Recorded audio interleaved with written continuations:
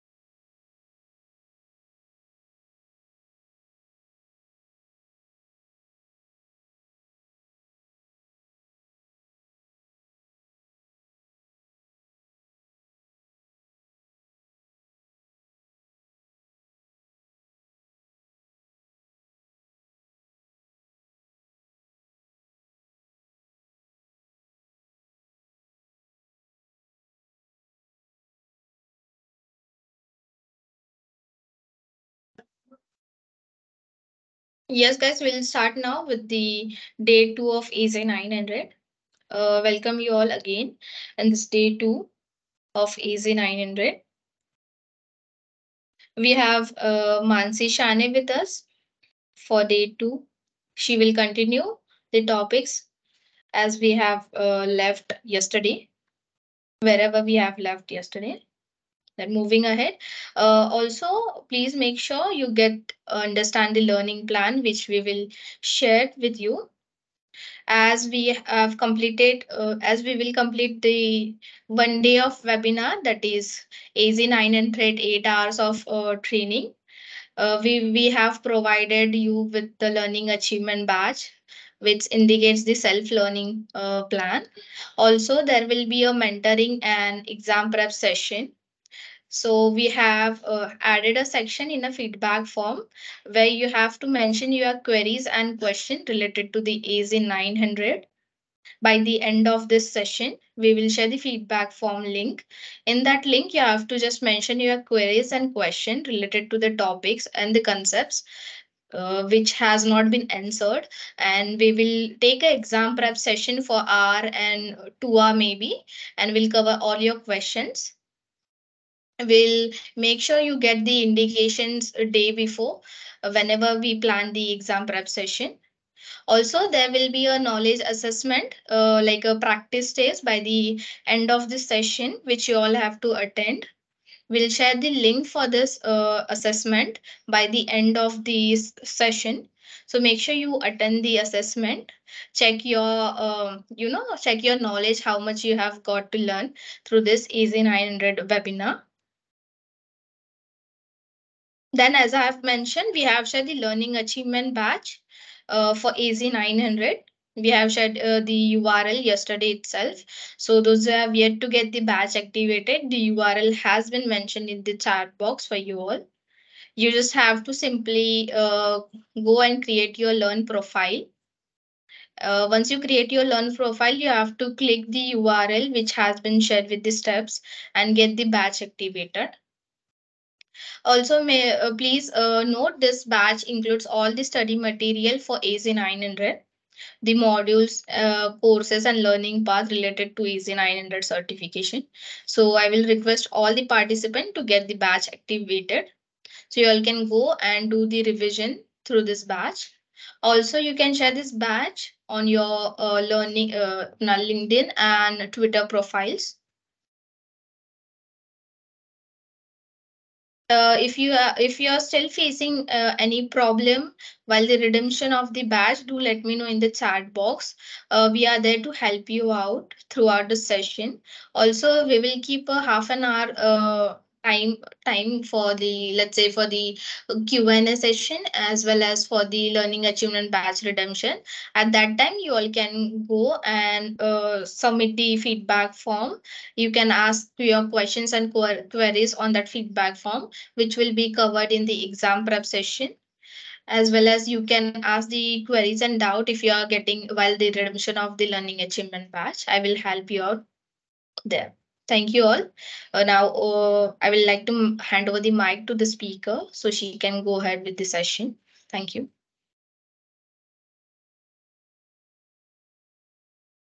Yeah, thank you so much, Chaitali. Uh, can you confirm whether you can, uh, my voice is proper? Yes, you yes, can I can me? hear you. Yes. Okay, great. So let's continue uh, with where we stopped yesterday. So let me do a quick revision, okay, of what we did yesterday. So we started with the fundamental cloud concepts. We understood the different types of concepts, the different services of in cloud, sorry.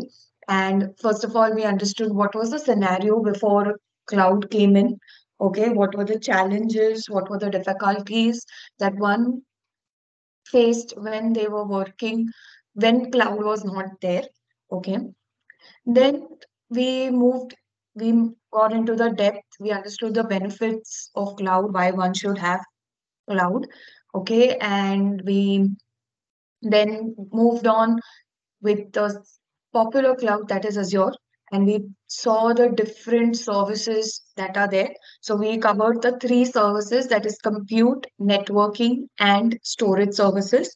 So in compute, we have the most popular and the only IaaS offering that is your virtual machine. We saw how to create a virtual machine on the Azure platform using the portal.azure.com uh, website okay, the Azure portal where we could create by just giving basic configurations.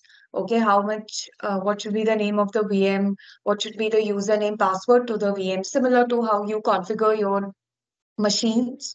Okay, similar to that, we um, created a simple VM and then we moved on to understand different computing services, that is the app service, uh, then the container services, that is the Azure container instance and the Azure Kubernetes service.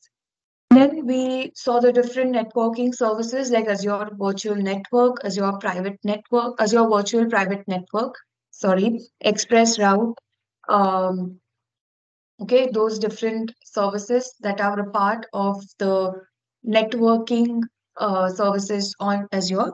And then we finally moved on to the storage services, where we particularly talked about the four different storage services that is the blob storage or the container service service then we saw file system file share okay queue and table storage this these are the things that we talked about and then i to- talked about the different redundancy options that one can have in order to replicate or copy or backup their data in simple terms.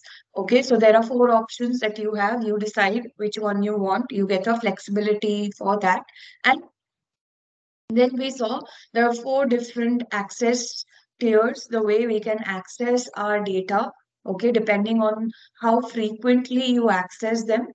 Okay, there are four types. That is the hot, cool, cold, and the archive. Okay, these are the four access tiers that we have, and then we moved on and we saw how to create a simple blob storage on or using the Azure portal. So now moving ahead, we are going to complete module two, complete the remaining services, that is the identity and access and the security services on Azure, and then move to complete module three, which talks about cost management, um, how different ways of accessing Azure portal. Okay, the Azure Resource Manager, what it is, and then some monitoring tools we will be seeing how you can make your Azure resource much better, okay, monitor the logs, what were the errors, look after the telemetry, look after the application that you have created, okay. Uh, all those things we will see in module 3. So now we're going to start with the remaining part of module 2.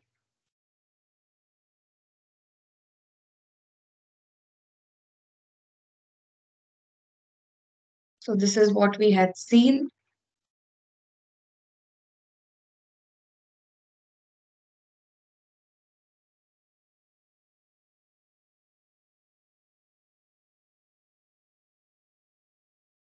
Now moving on to the identity, access and security services in Azure. Uh, Chaitali, can you confirm if you can see my screen? Is my screen visible? Yes, Mansi, your screen is visible. Okay, great. So uh, we are now going to see the identity, access, and security services on Azure. Okay, how can you now once you have started, you want to work on the Azure cloud. Okay, we need to first of all identify ourselves. Okay, we need a way like when you go to an OTT platform also, right? You first of all you need to put in your username and password and create credentials for it, right? You need to I put some way, some mechanism in which, in a way that you can identify yourself. Okay. So if I have to do that even on the Azure, the very first service that it has introduced is called as the Azure Active Directory. But this is no longer called Azure Active Directory. Just recently, they have changed the name and they have made it Microsoft Entra ID.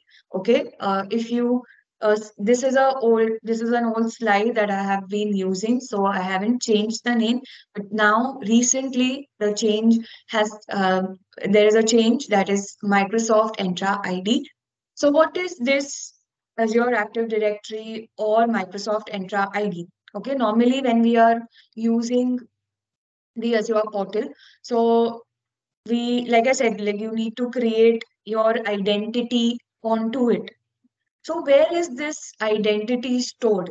Okay, so normally when you're working on Azure, you have different services that you will be working in. Okay, or let's talk about even the Microsoft 365 solution that we have, the SaaS service that is there. Okay, there also you first of all need a license. Okay, and then secondly, you need to create your own username and password.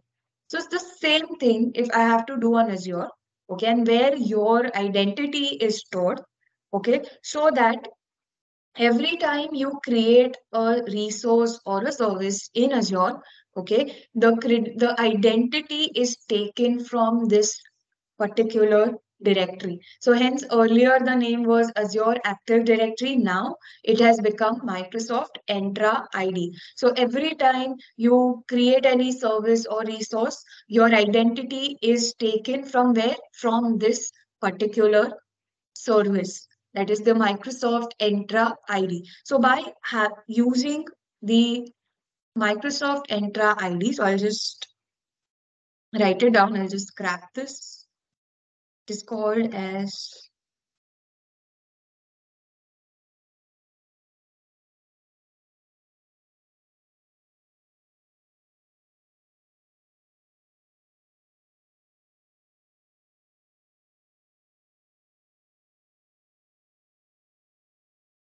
Entra E N T R A. This is what it is called.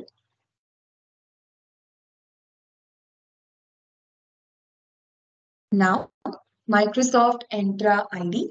Okay, so using this, okay, you can kind of authenticate yourself. Now, authentication, I will explain give, uh, in a few minutes. Okay, so like I said, you whenever you create a resource or a service on Azure, every time you need to identify yourself. I mean, it's once you log in, okay, it's like um identity that you have given so, and in case like now, uh, when you're working with Databricks, okay, and I said that Databricks has a tie-up with, um, it has a tie-up with, um, Azure has a tie-up with Databricks, okay. So, uh, like I said, you don't need to always, you know, you otherwise on Databricks you would need to create a separate username password, okay, which Azure, which if you're a part of Azure, okay you're a part of the azure active directory. You have a username password you have an identity created there. Okay you don't need to do that. Simply it navigates okay to the databricks environment to the databricks service that is there and you can start using that. So instead of creating two different identities on two separate um, accounts uh, on two separate services sorry okay you have only one ID and that is your Microsoft Entra ID. So if Azure has to verify you that are you the person who is using the uh, who's using the Azure portal is using the Azure cloud is a valid person or not. Okay, it will use the authentication method. Okay, but we will talk about what is authentication in a few minutes. Then if you have an Azure and Active Directory or a Microsoft Entra ID, okay? At times what happens is that you don't have to like i gave you the example like if you have one uh, azure active directory or azure and microsoft entra id okay? You can navigate to different services that are a part of the azure cloud okay? Uh, even openai if you want to access you can use your I mean, Azure OpenAI, not the uh, OpenAI given, I mean, not the general OpenAI model, okay, but the one that is present on the Azure cloud. If you want to use that, you don't have to create a separate account on the OpenAI ChatGPT portal, okay, you can use the same credentials of your Azure login and work with it.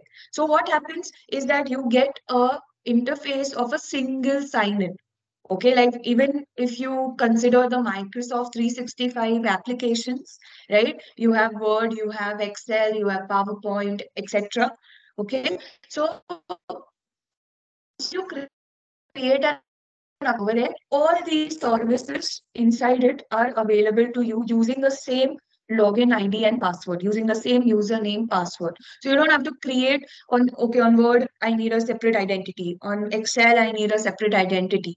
So it has scrapped that and you get the advantage of a single sign on so once you sign in okay automatically the because you're a part of this directory it's like a phone directory okay since you're a part of it uh, microsoft will kind of pick up your identity from there okay? And then only you will get access to that specific service that you are looking for. So when you work with the entra id okay you also get the benefit of a b2b okay from an organization like microsoft with another organization. So like my organization that is synergetics okay we kind of also get the advantage. So if i'm a part of the enterprise and my my my organization has the appropriate subscription okay?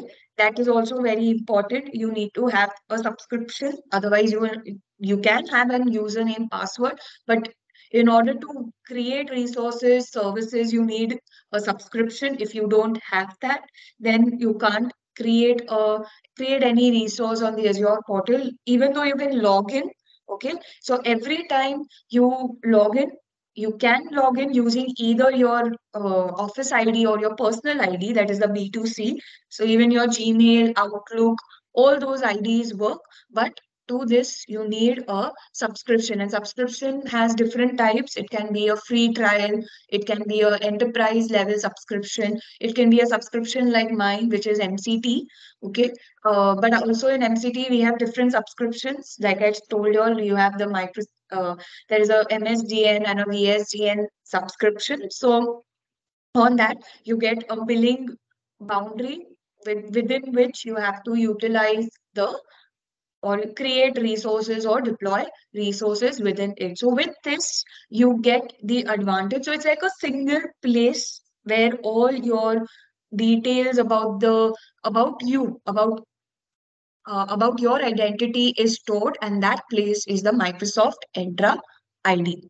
Okay, so these are the advantages that you get when you have a Entra ID service. But now, okay, you have entered, you, you have given your username, password.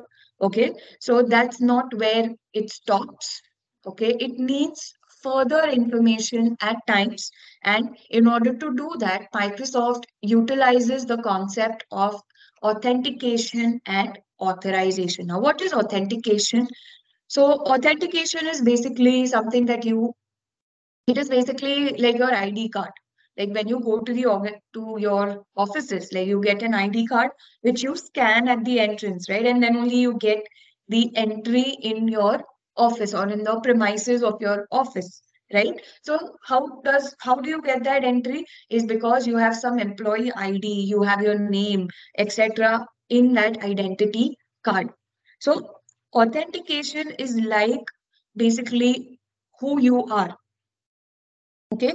To help you identify like provides you a identity card Okay, so once you have been added to the Active Directory, the first thing that it needs to do is authenticate yourself okay you need to authenticate yourself. Okay that is either you you you is something that you know. Okay it's something that you are and something that you have. Okay so we will see steps we will see services that microsoft you or azure uses in order to perform these perform authentication in order in order to access the azure portal. Okay what steps does it take or what services does it have in order to authenticate yourself? So authentication basically is something that you are okay? It's like the identity okay where you need to prove. So with where you where your identity is stored the service is the microsoft entra id but if i have to authenticate my identity i have different services for that which will be applied. And we will see those services in some in a minute or two. Now coming to what is authorization. So once you've logged in, okay, you have been authenticated, okay. The next step is how far or till where do you have the access in the Azure. Now, what does this mean? So at times, what happens is, okay, let's talk about in terms of an organization okay inside an organization like i told you there are different departments. You have sales department you have the hr department you have the uh, marketing department correct? And we have we can associate different subscriptions to that department. And imagine like in every department we have multiple people working in it right? Like sales can have multiple employees working in it. So you get you get the b2b Microsoft Entra ID, okay, based on the uh, organization, you kind of want to authenticate. But now in the sales department, there can be a situation where people, there are some people who are interns, right, who are not permanent employees, though they are using your micro, using the organization's username, password that you have allocated, okay, like if like I am from Synergetics, so I get a Synergetics ID. Okay, so I am using that in order to access the Azure portal that my organization has. Okay, the sales department has. Okay, I am using that. But let's say I want I want to decide where the intern wants or till where he or she should get the access. Let's say I don't want the intern to you know be able to update certain things in my azure portal i do not want him or her to change anything add in more stuff, do any kind of updation in my Azure portal. His job or her job is just to do a is just to read stuff, okay, act as if uh, just provide viewing rights. Okay, so if I want that kind of accessibility to be to be applied, okay, that is done through the authorization. So authorization is the way to determine how far can one person go within that particular within the Azure cloud. Okay, so once you have authenticated, okay, great. But okay, see, you don't have the access to use this this service. You are just a let's say you're just an intern, so you are you just have the viewing rights. You don't have the rights to, you know, update anything in the portal. Okay, so this is what is called as authorization and authorization can be based on rules. Okay, it can be a role that you can allocate. Okay, depending on what that person is doing, you can decide to give that person a authorization in the Azure portal. So we are going to see services, how you can authenticate your Azure portal your Active Directory and how you can apply authorization, decide the access till where you okay the uh, a person can go in the Azure portal. So coming to the first service, that is the multi-factor authentication. Now, what is this multi-factor authentication? Okay, it is like we all use banking websites, right? We all use, uh, we all do net banking right? Uh, either from the mobile or from the laptop, correct? So when we log into our uh, banking websites, okay, what do we do first? We first of all enter something that we know, that is your username and your password. Correct? Something that you know, it's something that you have created, something that has been given to you, and you kind of enter it, enter the values pertaining to it. So for Microsoft, let's say this is not enough. It feels that, okay, anyone can know the username password. Okay, like probably some other person is using your credentials and trying to log into the Azure. Okay, they know the username and the password that you have given. So Microsoft thinks, okay, I, I, I don't just want the username and the password. I want something else. So what it will do, it will send something called as an OTP, right? We always, uh, when we go into the, take the banking example itself, what is the next step? Once you have entered the username, the password, next step, it says, okay, I am sending an OTP to where? To the registered mobile number. So what is that mobile that you have? It is something that you possess, right? Mobile, every everyone today has a mobile, right? From small kids to elder to I mean to uh, senior citizens. Everyone has a mobile. So what is it? It is something that you possess. So what it will do once you have entered the username, password, no worries. Now the next step is I want you to give me a OTP, okay, the one-time password that I have shared on something that you possess and that is your mobile phone. Okay, so once that is done, at times that is also not enough. Okay, so what so Microsoft what it will do next is ask for something that you are. Now, what is that? Either a fingerprint scan or your face facial scan. Okay, you take a face scan of yourself. Okay, and say, okay, once that is done, okay, now I feel you are the person who is trying to access this particular portal is a genuine person. It's the same person who uh, you know is has created an account on or has an active direct has a is a part of the active directory. It's the same person. Now you are authenticated. You have been identified. You can go ahead and start working on the azure cloud okay so this is one of the service that it uses there are other services as well okay uh, which is not a part of this curriculum AZ 900. If you want to know more about this, you can go and do SC 900, the SC series, which deals with the identity and access and uh, security services, you can definitely go into that and study more about it. But as far as AZ 900 is concerned, this is the only thing that you need to know.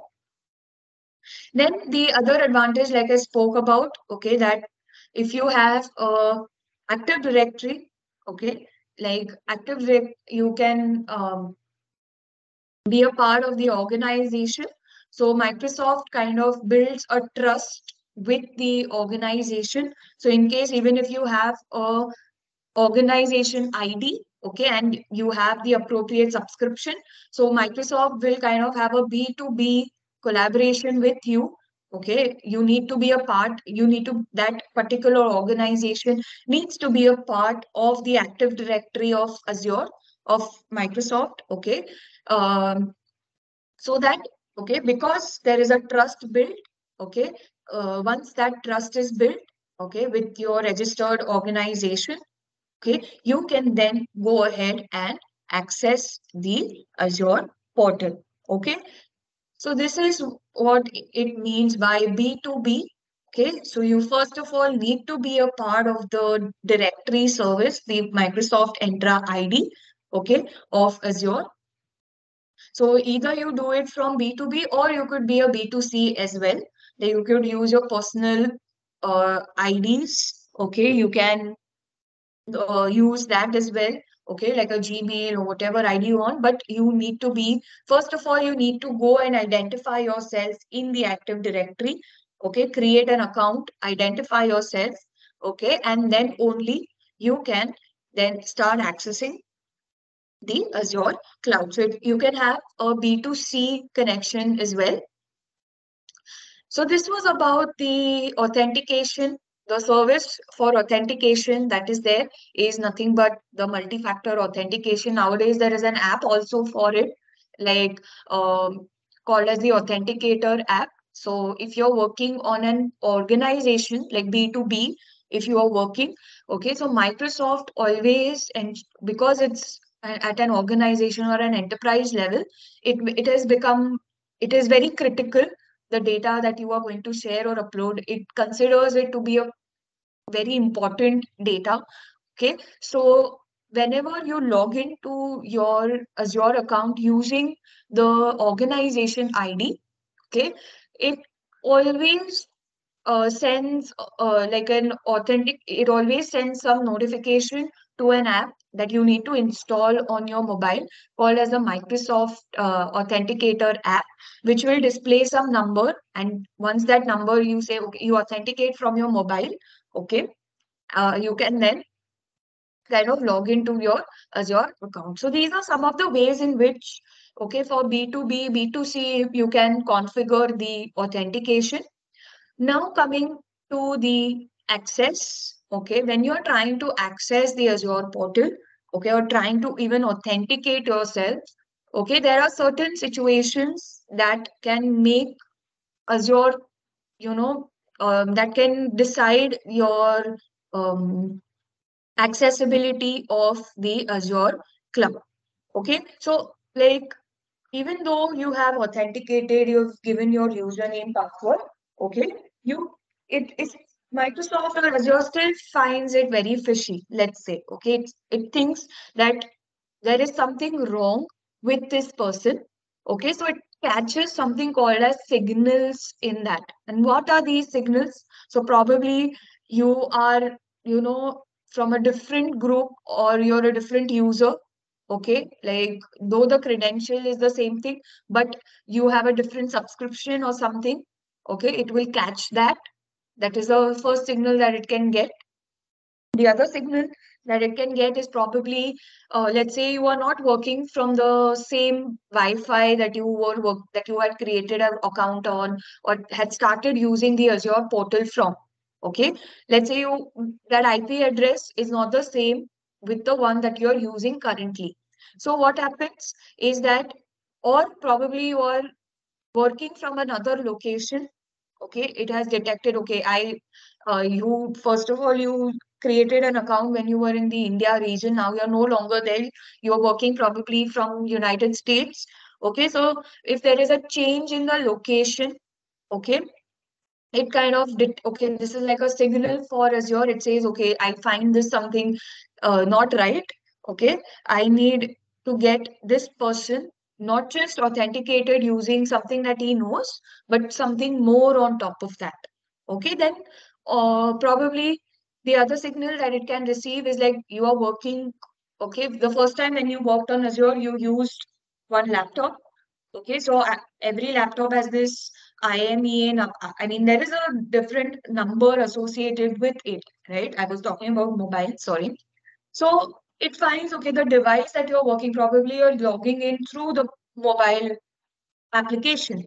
So it, if even the device changes, it feels, okay, this is something different. This is a signal. Okay, I have to be more, uh, have to be alert. I need to apply some precaution on top of that. Okay, so what does it do? It then on top of that, it will first of all apply Microsoft uh, the multi-factor authentication. It says, okay, username, password is fine, you know, but I don't feel that okay because of these signals i feel that there is something missing. I want more information. Okay so there you can always apply the mfa so these are some of the conditional access that it uses some signal that it picks up. Okay um, when you are trying to access the azure cloud. Okay so even these things determine the accessibility of your cloud environment. Okay so like whenever even i log into my azure portal because the mfa is installed so wherever i go okay in whichever part of the country i am if i have to use the azure portal or the azure cloud i always need to uh, I there is always a MFA applied to it. So I always get an OTP on my mobile phone. Okay, whenever I try to log in, and if this is from anywhere.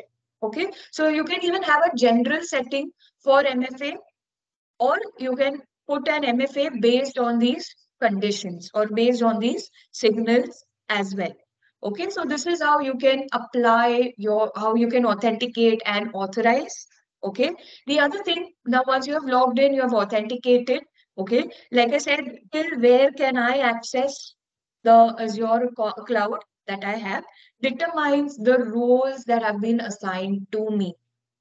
Like i said uh, when you're working in an organization you have multiple departments and to let's say to every department i have given something called as a subscription right? We saw what a subscription is okay? So if I'm working and I'm trying to use the Azure account, and I said, okay, uh, MFA is multi-factor authentication. Multi-factor authentication.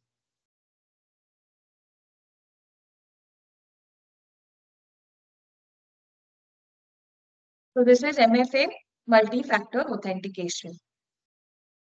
Now, let's say once you have entered the Azure account, you're being thoroughly authenticated. Okay. Uh, now, what is the next step? Okay. So, like I gave you the example of the sales department. Let's say you have a couple of interns working in your department. Okay. And you don't want, you know, to want them to make any changes to whatever services or resources you have created. Okay. So in that situation, what you can do is you can use something called as a role-based access control. Now, what is a role-based access control? Or we call it as RBAC. Okay, short form is RBAC. So this particular service of Azure, okay, helps you in kind of segregating the accessibility of your subscription or on but on top of a resource group it can be you know in terms of any service that you have. It's not just at the uh, resource group level or at okay um, or at the subscription level. This particular service which is called as the im identity access management okay i will show you uh, that. So if i want to you know give a role to a specific person I can do that, okay, by giving him a, you know, by segregating it into a specific role. Like let's say an intern is there and that intern's job is just to contribute in creating VMs or managing VMs. Okay, so instead of giving the access to the entire Azure account, okay, to the entire Azure subscription that I have, what I can do is I can just give it a role called as VM contributor. Okay, and whatever VMs are there in your subscription will be managed by that intern. So what is happening? You're kind of giving a granular, uh, you're making it more refined, right? Giving it a granular approach, okay? Just specific to the role. Your job is to manage VM. Okay, your your limit is also till there. Your access is also till there. So this kind of granular and uh, refined refined way of doing is called as a role-based access control. So let me show you all in the portal, okay, how you can give a role-based access.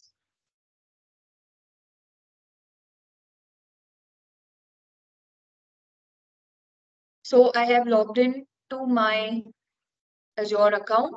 Okay. So like I said, you can give access either at the subscription level okay or you can give the access on any of the services that you have created or even on the resource group. So if you go to any of the resource group let's go to the resource group that we created yesterday.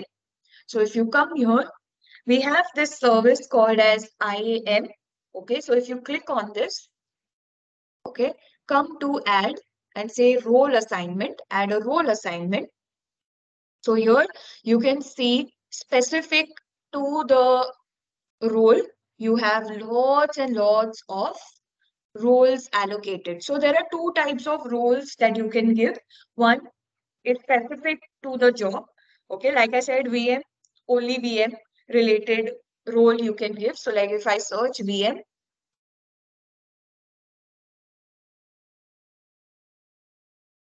So it will list down whatever jobs. So you can see there is a description also.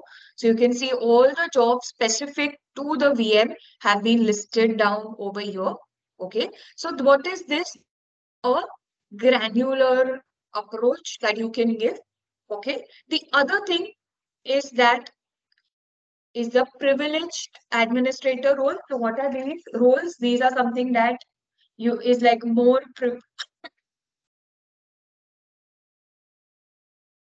Sorry.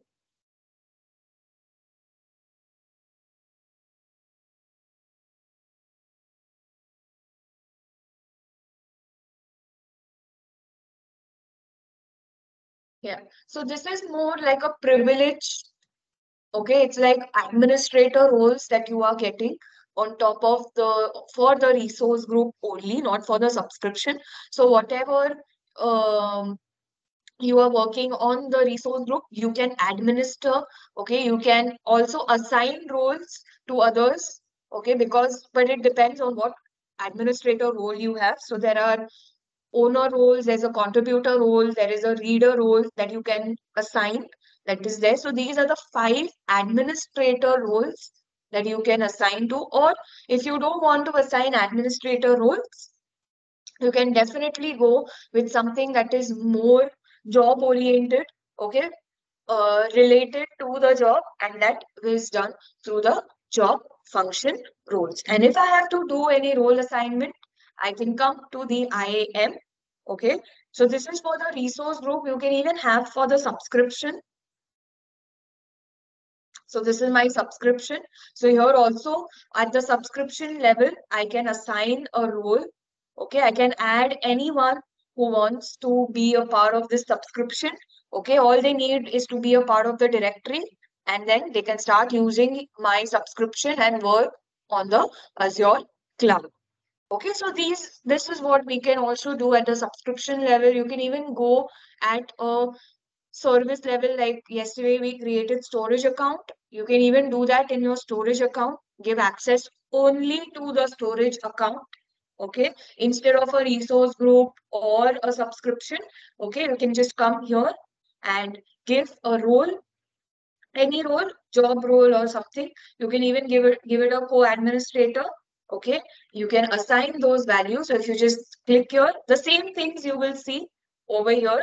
And so you can see now it has changed specific to the storage account.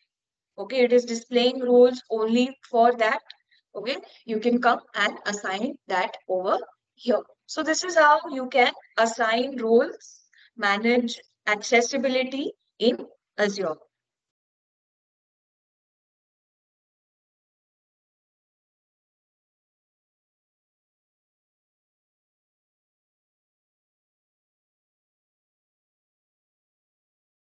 So this was the identity access service on Azure. Like I told, there are two ways that is authentication and authorization. Uh, once you have your name registered in the directory in the Microsoft Entra ID you have created, you have two ways of accessing. I mean, not two ways, but there are two ways in which you can access. Okay, that is the authentication. So you need to first of all authenticate yourself and you can use the MFA that is a multi-factor authentication uh, service. Then if I have to talk about accessing or authorizing someone, I can do that based on the conditions that I get, based on the signals. And once that is done, I can apply a MFA to that particular condition okay, I find something fishy, I can just put an MFA, get more information about that person, authenticate him even further, okay, using the using a registered mobile phone, using face scan or fingerprint, etc.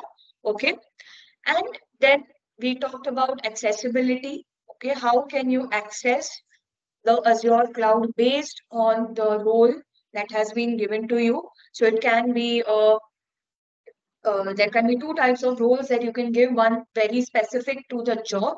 And second uh, uh, administrator role. So administrator can then do the changes etc acts like an admin. Okay? And these roles can be applied at the subscription level at the resource level at the resource group level also.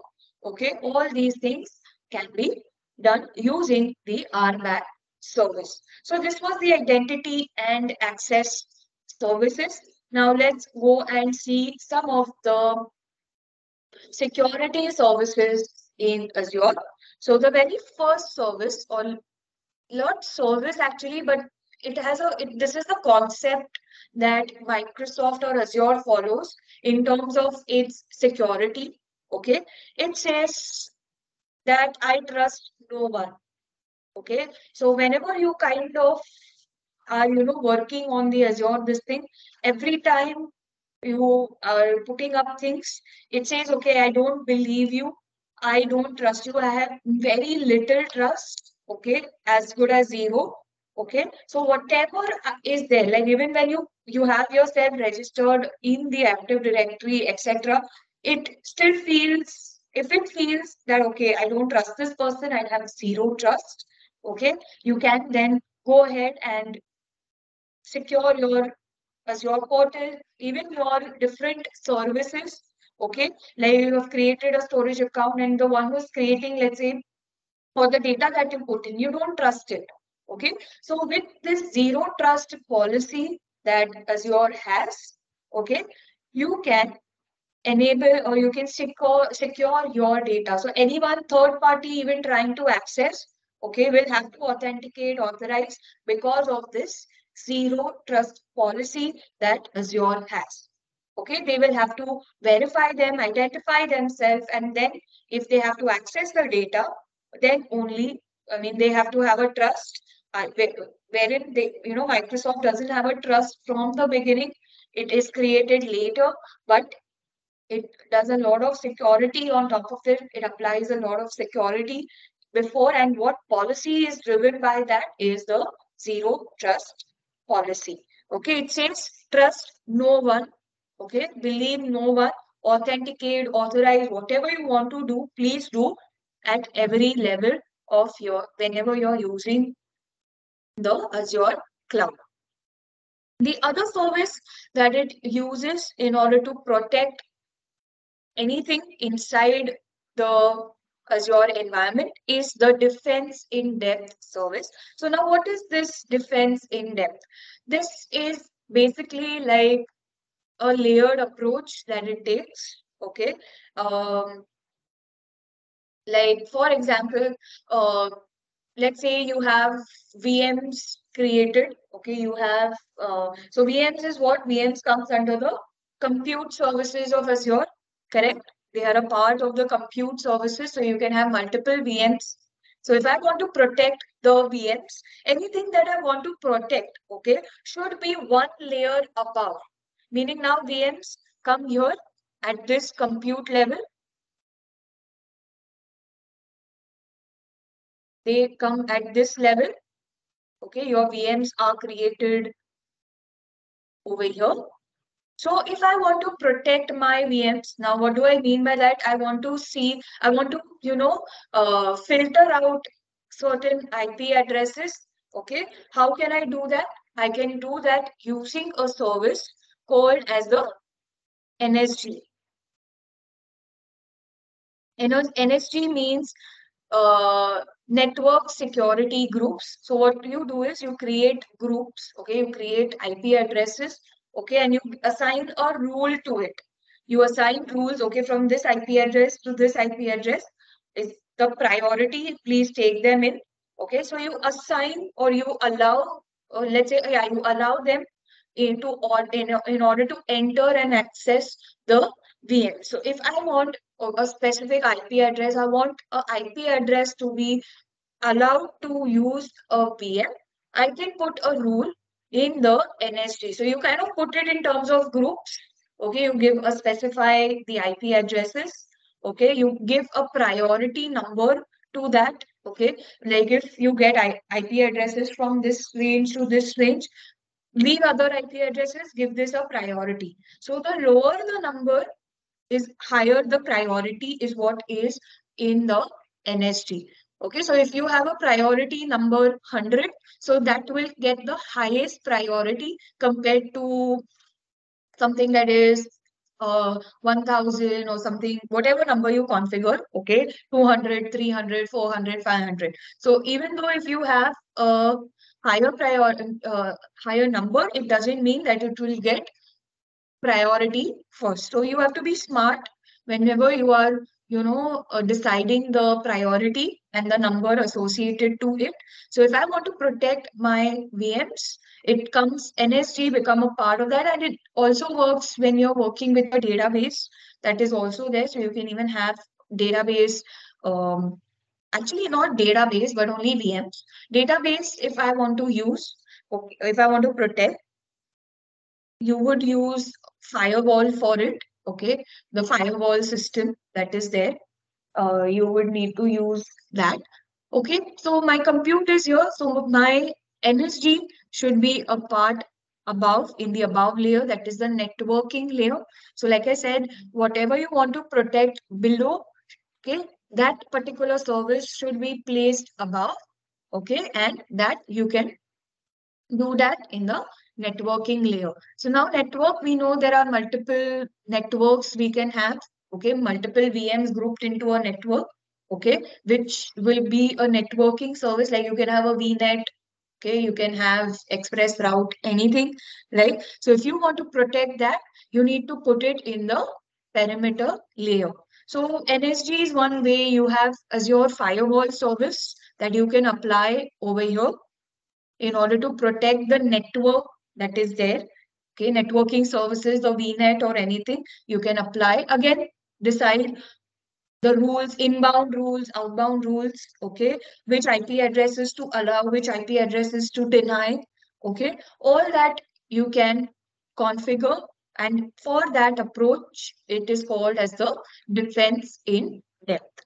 Okay, so this is the approach generally that is taken. And if you have, want to study about it more, like SC900 is there, okay, you can, you, uh, for, you know, to understand that in much more detail, you can definitely use that. And of course, these layers that are there, okay, they are isolated from each other they are independent of each other okay not two layers interfere within each other okay so one so it goes from a top to bottom approach is there. So you can see that physical security that is at the data center level becomes more important. Then your identity is the second layer that is, you know, kind of taken into consideration. Then, of course, the firewalls, then the NSGs, uh, etc. Those services come into picture. But you can see at the bottom, you have your data which is the most critical and the most important and which needs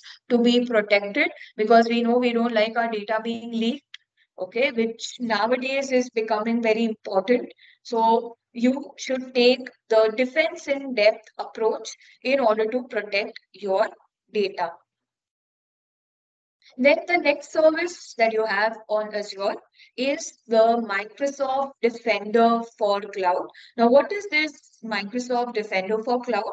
Okay, it's like um, a, a service, okay, which tells you that, okay, I find this service, I mean, I don't think this is good. This service is not good. Okay, I think you should make some changes inside that Okay, so what is it doing? It is giving you a recommendation that please you these are the areas that you need to focus on, where you need to improve, where you can make your service better. Okay, please look at that. Okay, here you need to have a focus and based on that, based on the analysis that Microsoft Defender does, it gives you something called as a secure score. Okay, it gives you something called as a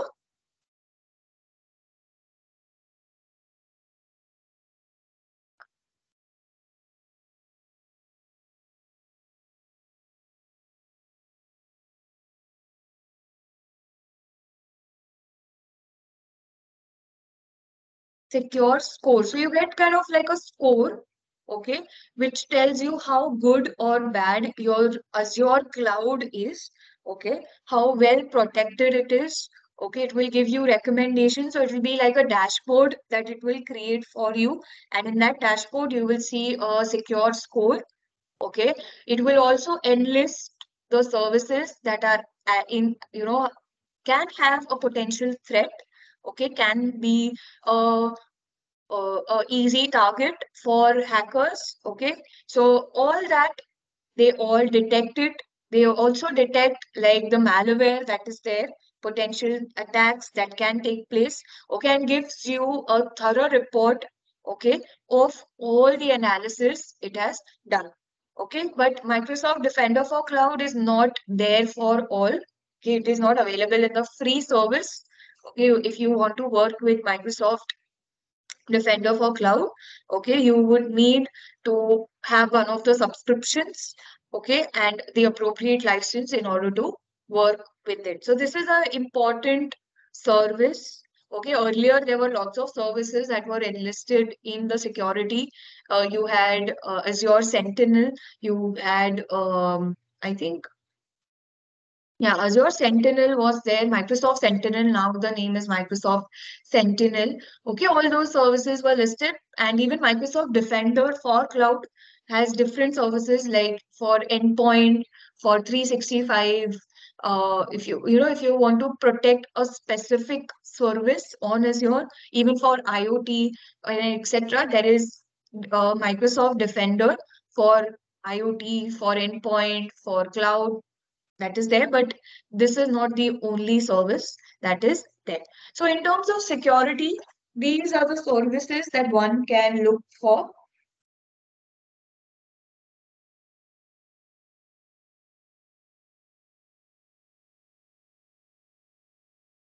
So yeah, even Sentinel is a part of the cloud that is there, Microsoft Sentinel. Okay, so it's like something like where you know like it's like a police basically like you know once the threat has occurred okay once the robbery has occurred you kind of register a complaint with the police and then the police come and investigate right? So microsoft sentinel is similar to the police okay? So it will do, give you a analysis of the threat uh, that had occurred how did it occur on which service did it occur? It will start investigating okay and everything is again online on the cloud that is there. But of course, it is not a free this thing. It doesn't come with free trial that you have. Again, that also requires a subscription. Okay, these services cost a lot. Okay, so you need to be a part of, you need to be able to purchase the subscription or at least pay for that using the pay as you go model. Okay, that is there. So you can definitely uh, look into that. But it's not a part of AZ 900 now. Earlier it was, but now no longer we find this particular service. Okay, but if you do SC 900, it is a part of that. So you can study more about that. So with this, we end module two. Module two, we saw the different services, that is compute, networking, storage, identity access, and security services. So in compute, we have VMs, we have container in services, we have the app service. Then in networking, we have the virtual network, we have the virtual private network, we have Azure ExpressRoute, we have Azure DNS, okay? Then in storage, we saw the different storage services, that is blob, file, queue, and table, okay? And in identity today, we saw that Active Directory or Microsoft Entra ID is the major service for identity and access. It determines your authentication and accessibility or authorization into the Azure environment. Okay. And based on that, you can then apply some more services in order to authenticate and authorize yourself. So you can use the MFA, multi-factor authentication, RBAC, role-based access control in order to determine the authentication and authorization of an individual in the Azure cloud. And then finally, we did different services in Azure for security, how you can make your cloud secure is one using the zero trust policy. Okay, trust no one authenticate, authorize everyone who comes in. You can apply this particular zero trust policy. Okay. The second thing that you can do is apply a defense in depth approach. Okay. Which is like a layered architecture where you start from the physical uh, security, then move on one layer below. And these layers are in work in isolation. So whatever you want to protect should be placed in the layer above. Okay, so if you want to protect compute, that is VMs, container instances, Kubernetes, place the service on the, uh, I mean, the security part on, on top of the other layer, that is the networking layer.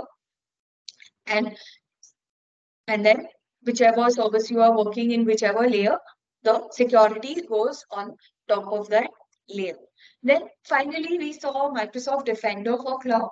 So what is this Defender for Cloud? It is like a, a, a service which talks about your security of your cloud as a whole. Okay, it will give you recommendations, suggestions. It will give you a scorecard. Okay, through the secure score, like how um, uh, well protected is your Azure cloud. So before you uh, kind of, you know, create any service, deploy any service, you can definitely have a look at your Microsoft Defender for Cloud. So let's just one thing.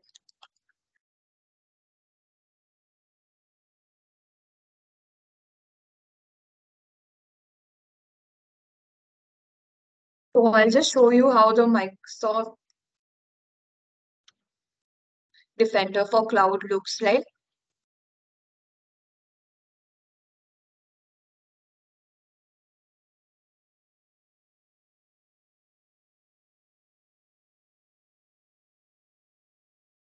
Okay, so this is the Microsoft Defender for Cloud. Okay, so this is your overview. Currently, this is what it is. I don't have this service, okay, because I have uh, just viewing rights, I'm currently I have nothing over here. So you can see it will give you a secure score over here. And then it will, the number of subscriptions I have, okay, all that thing, it will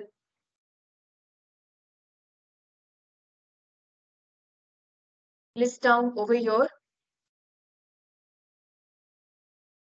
It can give you recommendations. If you see, you can get recommendations as of now.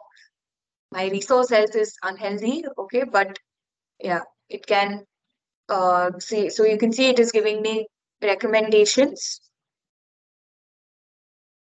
Then you can see security alerts that are there. Are there any alerts? Okay, before I kind of, uh, I mean the potential threats. Okay, can can give you alerts over here. Okay, then you can go and see your security posture, basically the security secure score that is there. So you can see two out of six services or resources that I have. Okay, currently is unhealthy. I should go and check them. Okay, and then it has given me 14 a score of 14 for uh, secure score and not just for Azure. If you're working on AWS, you have an environment for that. You can definitely check your security there also. Okay, so you can see you have different cloud options for that. You can even see the governance that you have applied. You can see certain security solutions if you want recommendations, you can get it over here.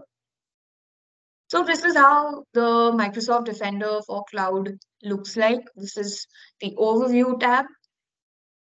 So you can see this is the regulatory compliance. And in most cases, I have passed the regulatory, I have complied with the regulatory. Okay. So one, as of now, is healthy. Of rest, like I said, my services are not healthy enough. I need to check them. Okay, so this is how you can use the Microsoft Defender for cloud. So Key Vaults basically is something like uh, a storage kind of service where you can store your passwords, your username, not username, passwords, certificates, okay? In, so instead of, you know, directly entering the password or directly and giving the certificate out, okay, you can kind of store it as a secret and give that secret to any of the service like you're working on Azure Data Factory, you're working on Azure Key, uh, Azure Databricks, you're working in Azure ML service, okay. Um, yeah, we are coming to tags in the next module. So we will see tags over there. Okay, but coming to Key Vault, Key Vault is like a, a secret management service on Azure. So you can handle all your secrets, passwords, certificates, and instead of directly entering those values, it will go via the Key Vault service of Azure, which where you can just give the uh, you need to have the secret ID and you can just give that and it will automatically associate with the password that you have. So so this is way, in a way, you can like secure it. Okay. So that is what is key vault. Yes. I have no idea of key pairs in AWS, but key vaults is what is this. Okay. So tags we are going to see in the next module that we are going to do right now. So with this, we end module three. Okay. Uh, what we can do is I'll do some little bit explanation of module three like 15 minutes more and then we'll take a break. Okay. And then I will continue module three. Okay. And once that is done, we will go on to the exam prep session. I will give you a 15 minute exam prep. And once we complete the exam prep, okay, there is an assessment like Chaitali said, where you can go and attempt uh, some questions of AZ 900. So we are going, I'm going to give you time for doing that. Okay, so this is how we will go ahead with our session now. So let's go and do module three.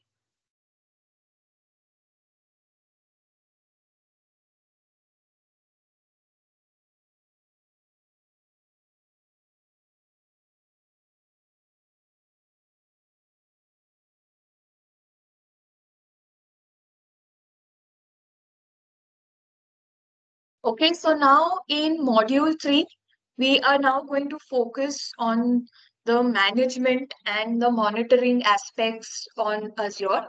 Okay, the so like I said yesterday, cost is a very important factor. Okay, in uh, when you are working with on Azure, and you know in in general also cost is a very important factor. right? So we are going to see certain ways in which you can manage your cost okay? Like we talked about predictability benefit of cloud yesterday.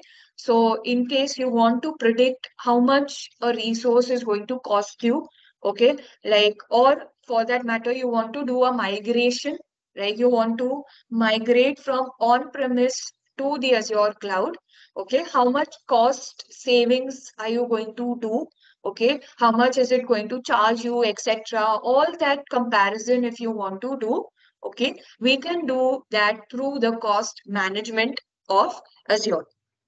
But before we understand how to predict costs how to manage costs okay there are certain factors okay that affect your cost that is there which you need to consider while working with it.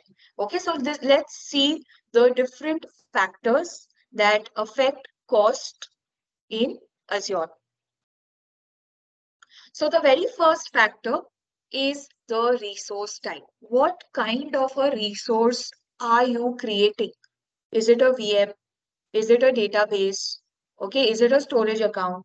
What kind of a resource it is? Because on azure okay not every resource has not all the resource i mean the resources that are there do not cost the same. Okay?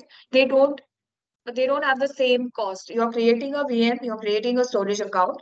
Their cost is going to be different. A vm might charge you less but a storage account will have a high cost. So in contrary even the database database servers we know. So we need to have a server and then on top of that there is a database. Okay? So the servers that are there okay a database server will cost you a lot as compared to a VM or a storage account. Then if you're working on Databricks, Azure ML, you're working with Data Factory, any of these services, okay, these services tend to cost a lot.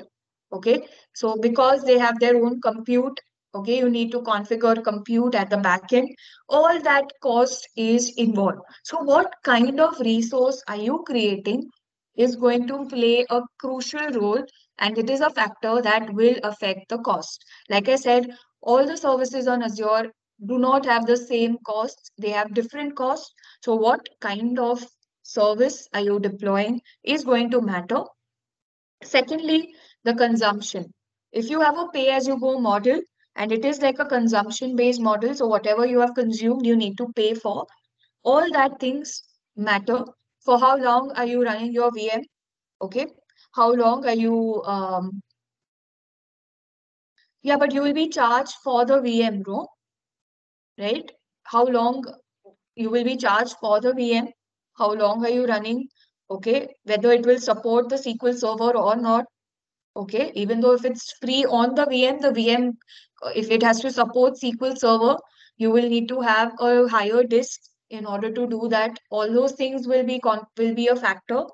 Okay, so when you are working even on a VM and you're installing another software on top of it. Your disk and HDD does not provide you with that. You need to go with an SSD. The operating system will be a different one. It has to be a uh, better version. Okay. So all those factors also contribute, even though if you're creating a VM, uh, VM, okay, how long are you going to run the VM? That is also an important part with consumption. If in case you forget to stop the VM, then what?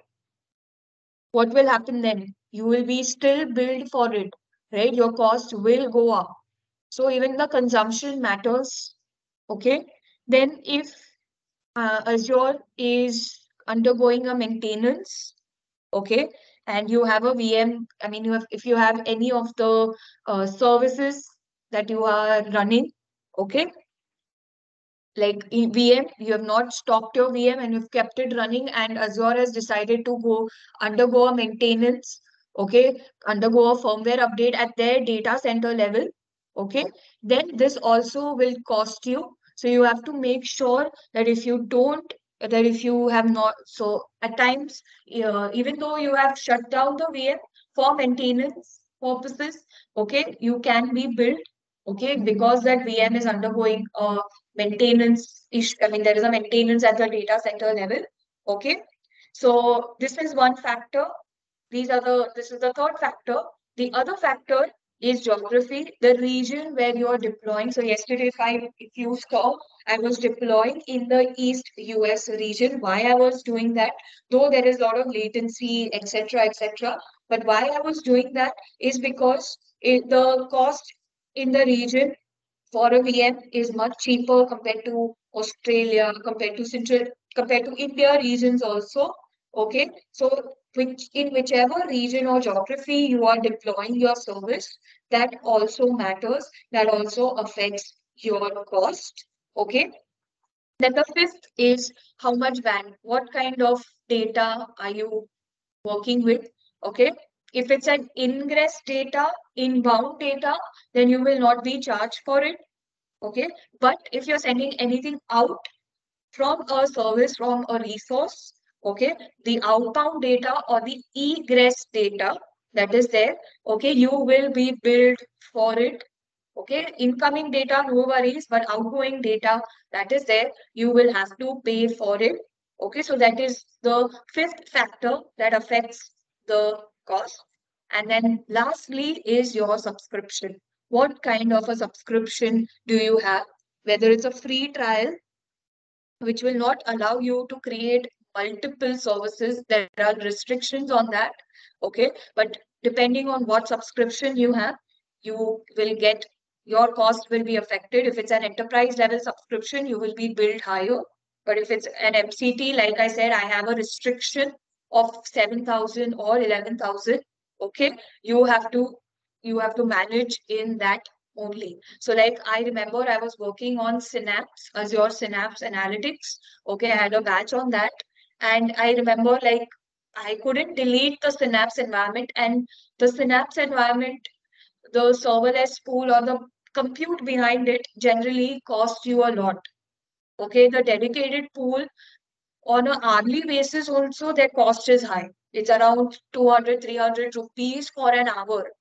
Okay so that also affects so the service and of course the subscription okay what kind of a subscription you have also matters when you are working uh, when you have to do a cost analysis. So whenever you're handling cost consider these six factors that are there which can affect your cost. So like i said one of the ways in which i handled the cost is okay not working in the india region but working in the east us region deploying all my services there then the second thing is like if i've created a vm making sure the vm is top i mean i don't the running time of vm is not on. I mean it's not on 24 7 365 days. Again that is depending on your need.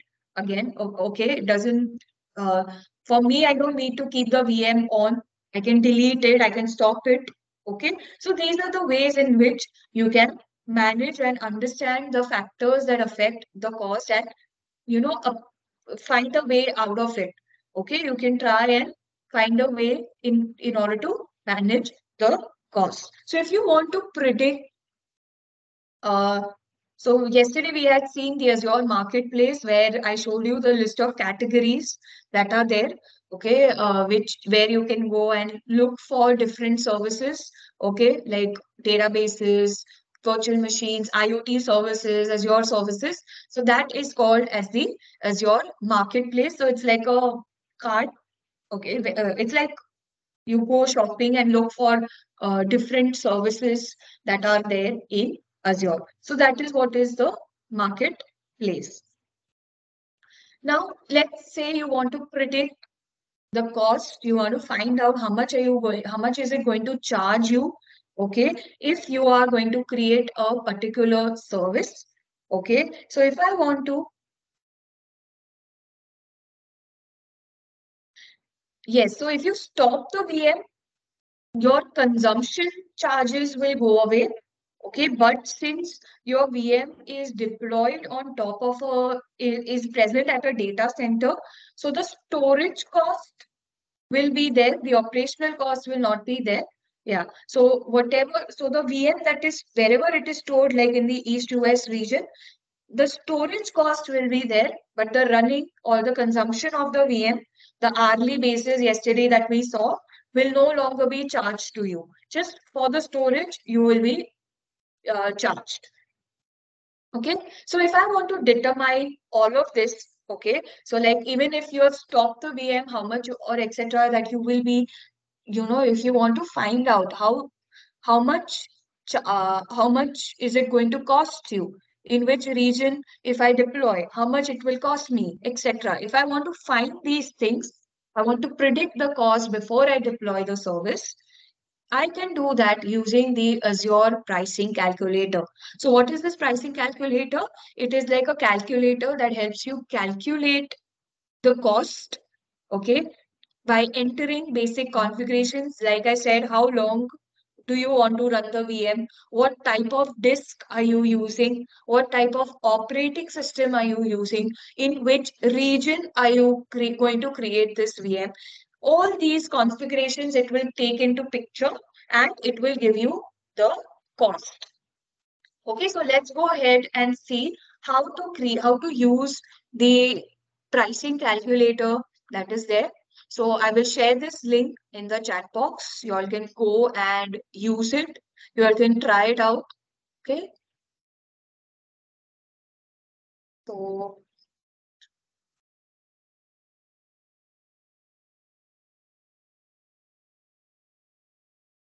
So if you go to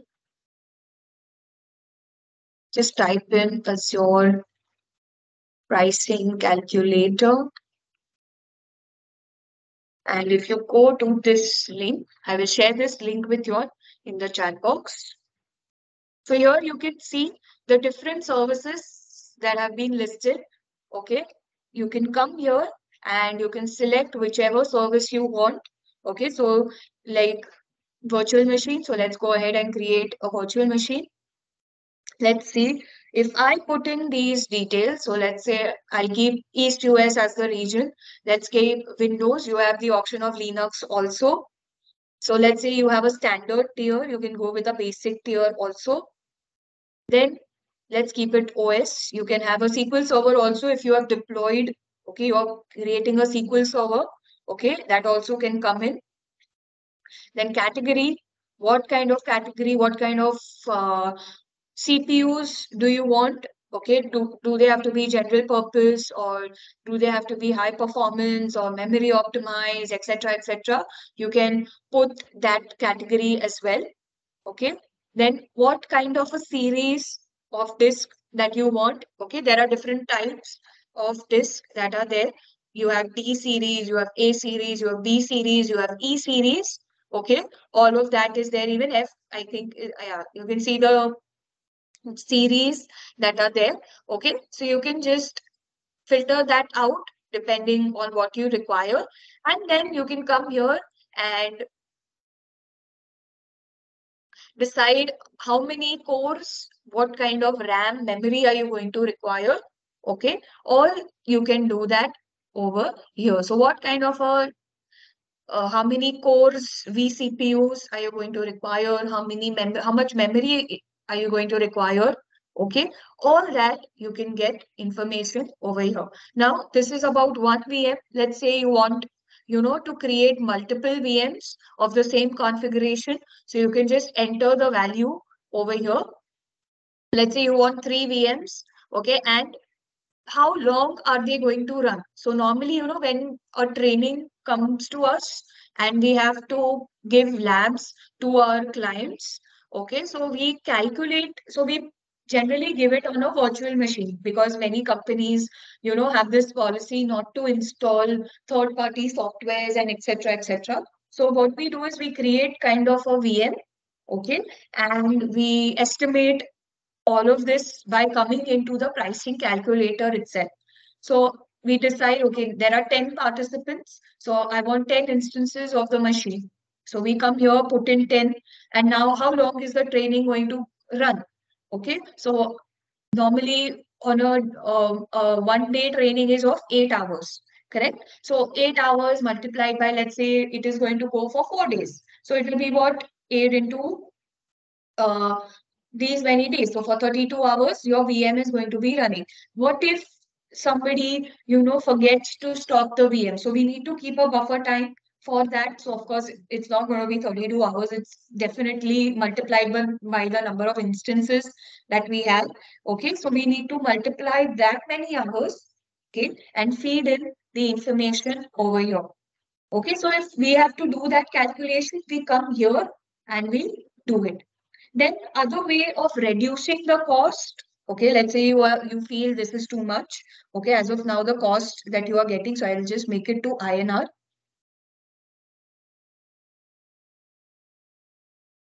Okay, you feel okay, this is too much. Okay, so you can even reduce the cost. Let's say uh, you don't want to use the VMs now. Okay, you want to probably within a year or within three years, you're you want to use this VM. Okay, so you can have two saving plans. That is, uh, you can save this, store this and keep it. Okay, or you can reserve it and keep it. So if you reserve it and keep it, let's say for a year, so you get kind of 40% discount. Okay, if you save it for a year, you get 13% discount. But if you save it or reserve it, you can see you get this discount. So if you say I want to reserve it for a year, Okay, so you can just go with this compute payment option. You can go with upfront also. So you will be. So here you can see now drastically I have been given a discount of 40%. Okay, so on an average, my monthly cost, if I go for, uh, there is no upfront cost as of now. Okay, but if I go for upfront, okay, so you can see this is my total. If I don't pay now, if I pay later, so this will be the cost that will be there. Okay, so you can come here and you can do the assessment. Then if you have a hybrid license, like I said, you have some servers on your on-premise and you are creating some instances on the public cloud. So for that, you need a hybrid license. So if you have that hybrid license, you can definitely put that. Okay, and you can see the cost has drastically come down. So these are ways in which you can reduce the cost. And if you want to do an estimation of that cost, you can come to the pricing calculator. So I'll share this link with you all in the chat.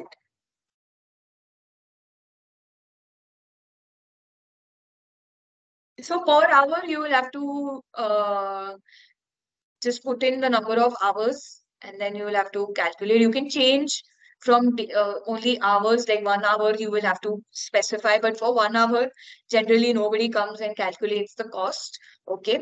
But if you have it for a longer time, then definitely come and use the pricing calculator.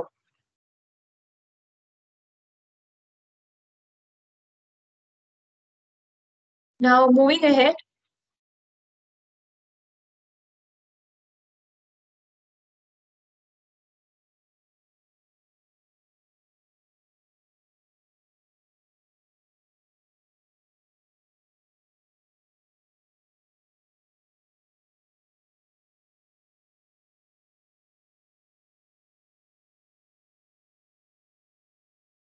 So this was about a service, okay, uh, that you can, before deploying a particular resource or a particular service, you can uh, come and check for that cost using the pricing calculator. We have seen how to use it.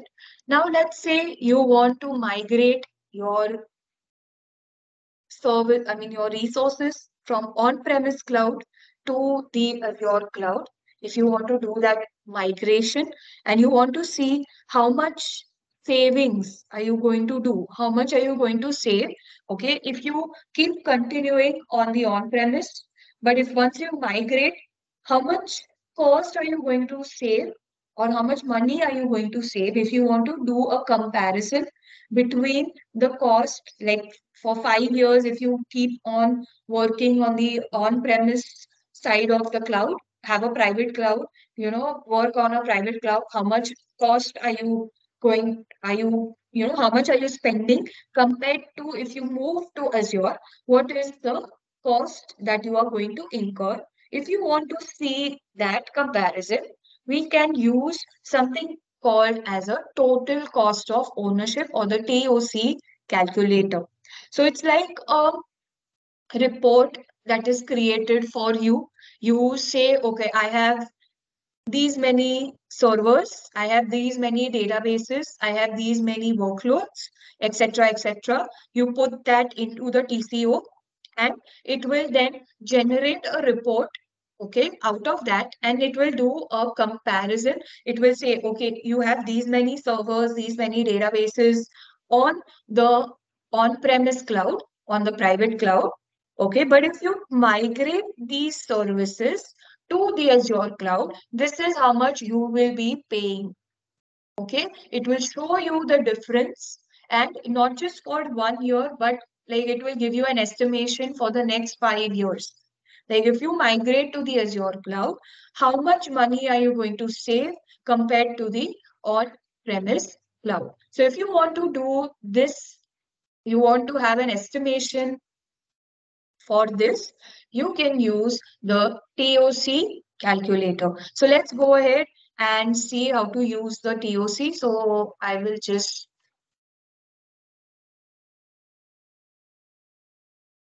open it and show it to you all.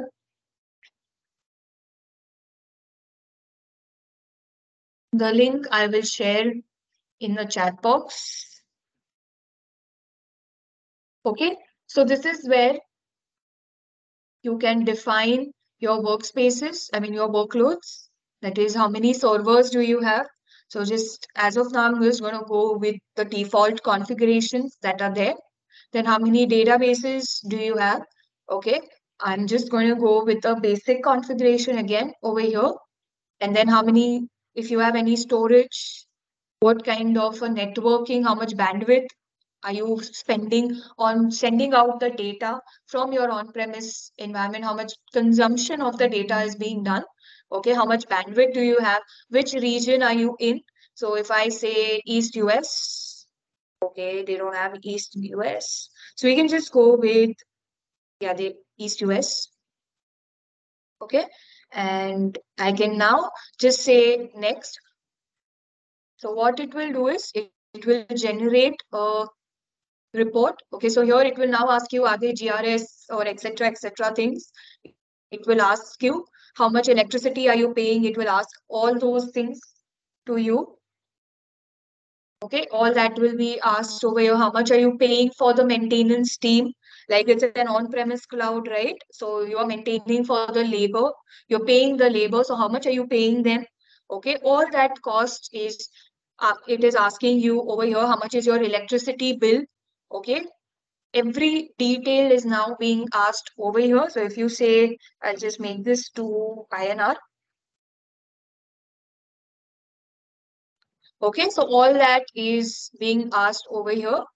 Okay, so if you now say next,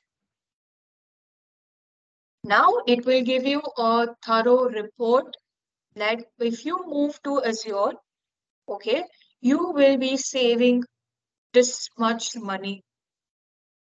Okay, you will be saving around 250 million.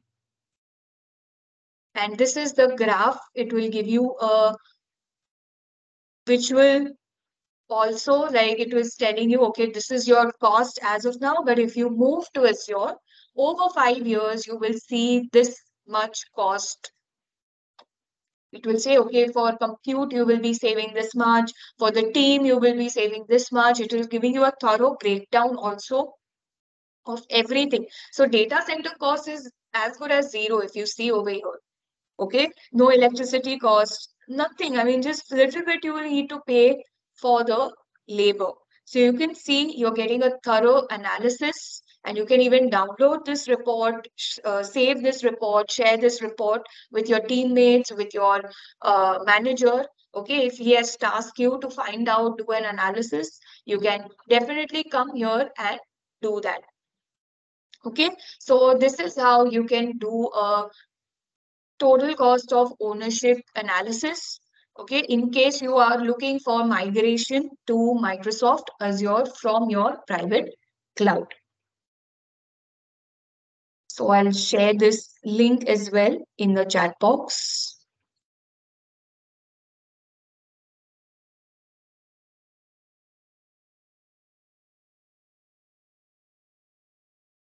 Now, finally, in terms of cost, once you have deployed the service, you have created the service, you have done the predictability, etc., and still you have gone ahead and you have created the service, okay, you still need to have a further understanding of the cost, right? Where have you lost a lot of money or you want to see the bill, you want to see the invoice, okay, you want to set a budget, like please, this is the limit up to which I can spend or you want to see the or you want to see how much is your budget currently how much money is left to in your subscription.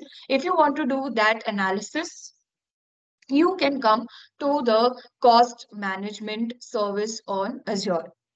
Okay? So this service will is after you deploy uh, resources or services on the azure cloud. Okay? How you can make your cost better. Okay? It's after you have deployed definitely. So it will give you alerts, recommendations, okay, where you can save cost even after you have deployed. And you can change the re regions, etc. Okay, it will give you a report. Okay, how much money is left. It will uh, kind of give you um, analysis of that. So if I have to do that on my cloud, okay, I'll just go back to my portal and I can go to my subscription.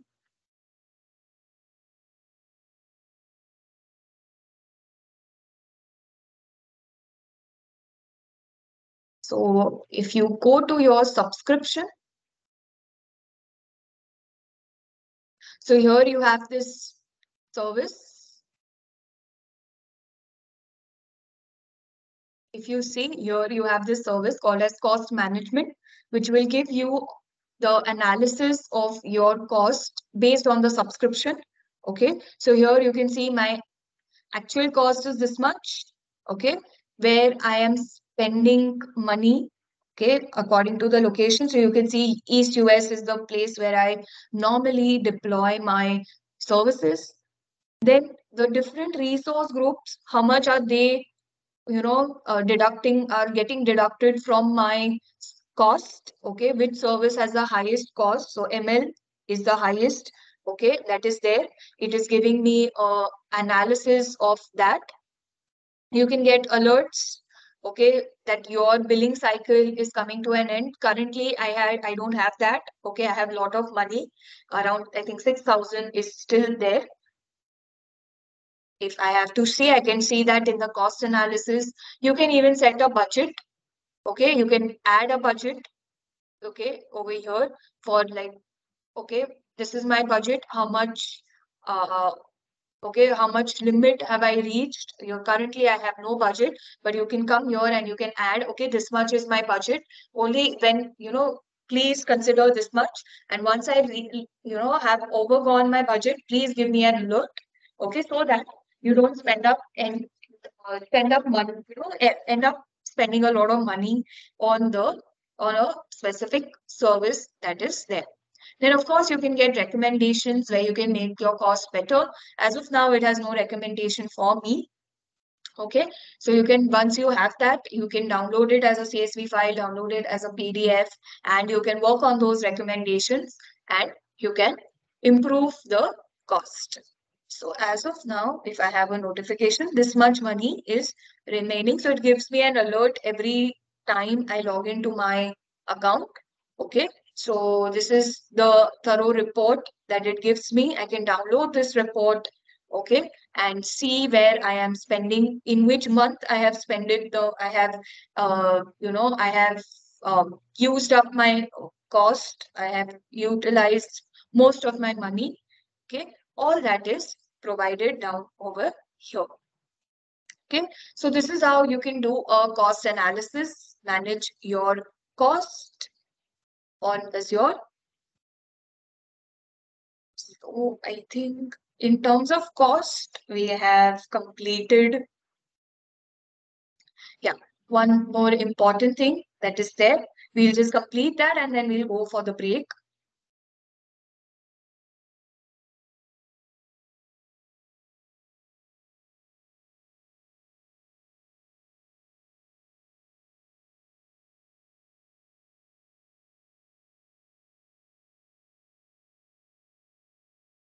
Coming to the tags okay? So tags is something that is like a metadata for a resource that you have created. So normally when we go shopping where we can't see a salesperson and we want to find out what is the cost of this item right? What is the size of this item in terms of clothing or etc if you want to know more about that particular item you have a tag associated with it right which will give you all that description.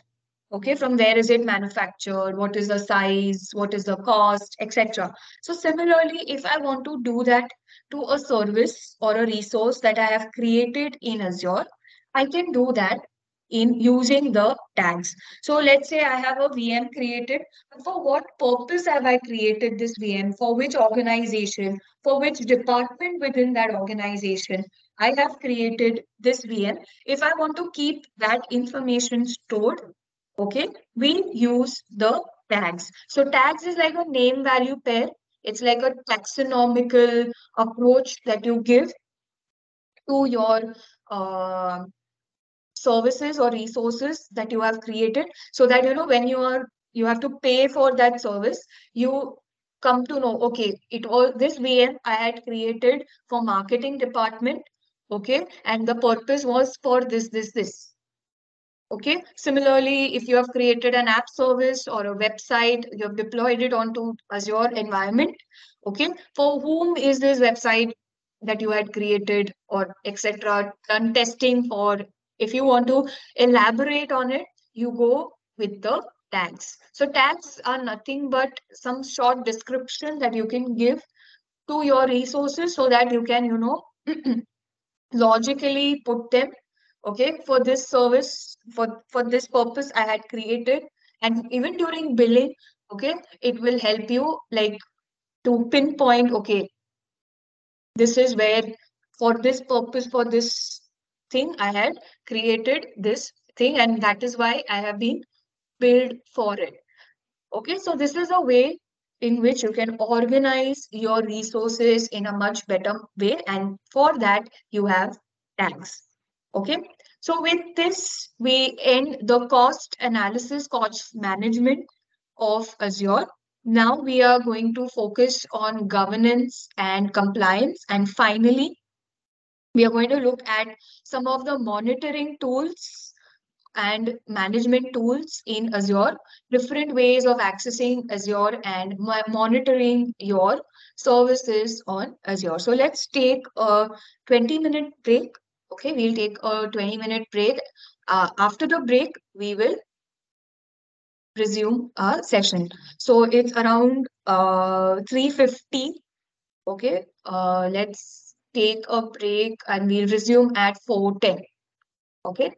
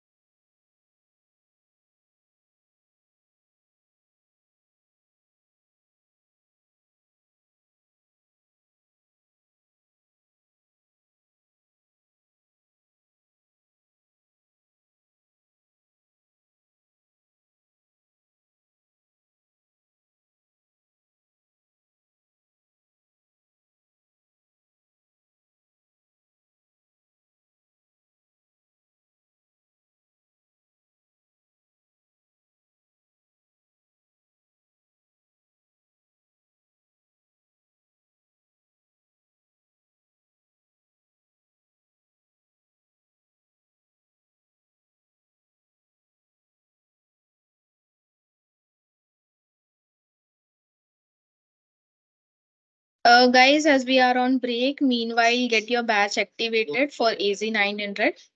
I have shared the steps and the link in the chat box for you all. Uh, those who have yet to get the batch activated, make sure you follow the steps and get the batch activated. And this uh, batch includes all the study material related to the certification AZ900. And any of you uh, facing problem while the redemption of the badge, do let me know in the chat box. Me and my team is there to help you out.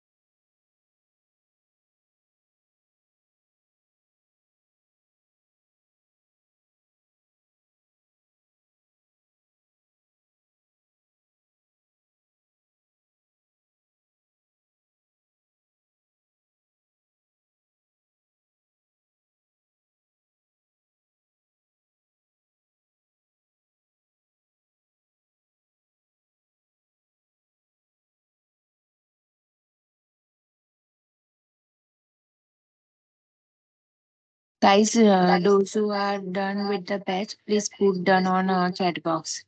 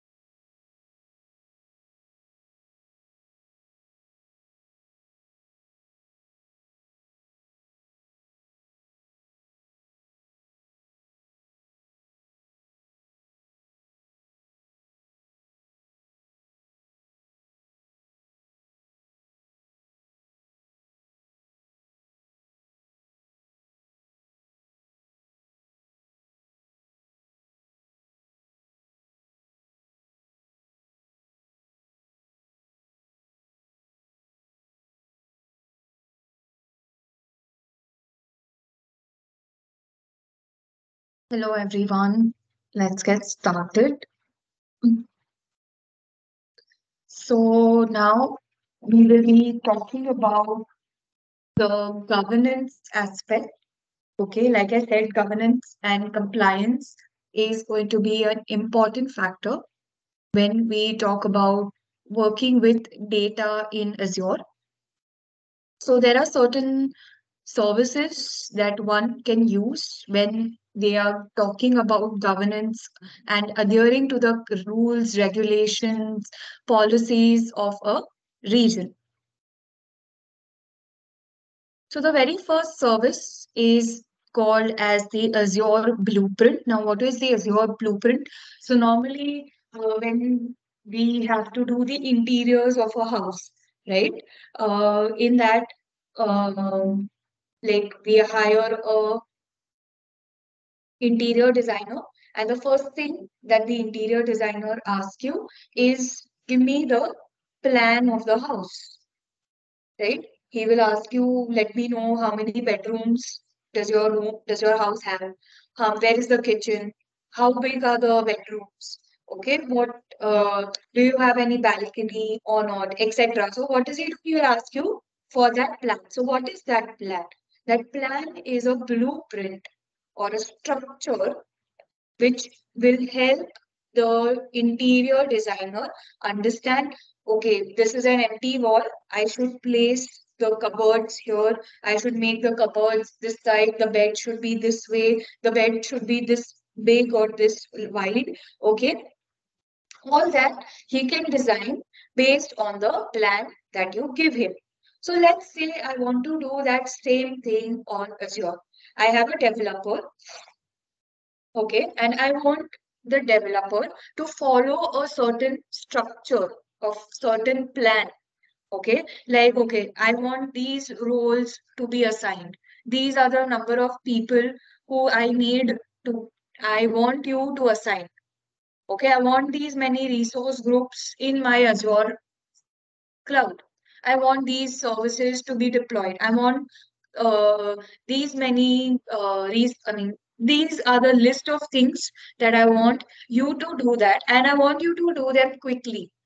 So, what does the developer do? Okay, he gets that plan and he starts working on it one by one. So, that plan in Azure is called as a Azure blueprint. So, this blueprint that is there, it helps them you know, build and deploy certain environments very quickly so that if you know uh, within the organization there's no delay they know what they are doing. And you know otherwise what would happen? They would have to normally ask the manager ask the superior person okay the person above him and then they would need to deploy. So if they have a ready-made plan it becomes much easy and much faster for the developer to develop the certain things. So at which region should I deploy the resource groups? What kind of resources are required, etc. All these things, if I put it into a plan and I give it to the developer, that is called as a Azure blueprint. The other service that you can use when you are talking about governance and compliance is called as the Azure policy. So what is the Azure policy? So like in organizations, we have certain uh, policies like we can't, we have to wear formal clothes. Only on Friday, you're allowed to wear casuals, right? You can't smoke in the office premises. There is a smoking area for it. You have to log in and log out at this time. So this, the, these are what these are the certain policies of that organization.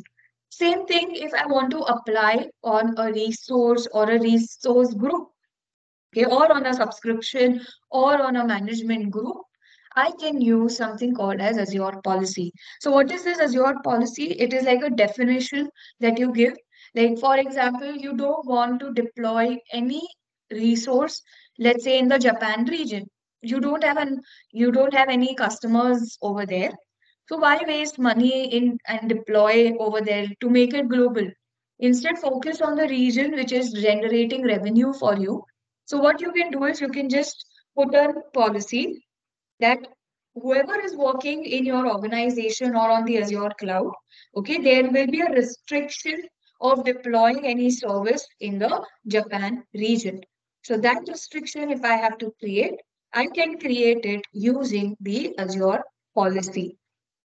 Okay, so the Azure policy is a way to enforce certain compliance policies, regulations, like how you can restrict it to a region. Okay, you can restrict uh, multiple things and you can put them in the policy. Okay, so that is what a policy does. So of course, not just in terms of region, but there are multiple policies which are being predefined in Azure.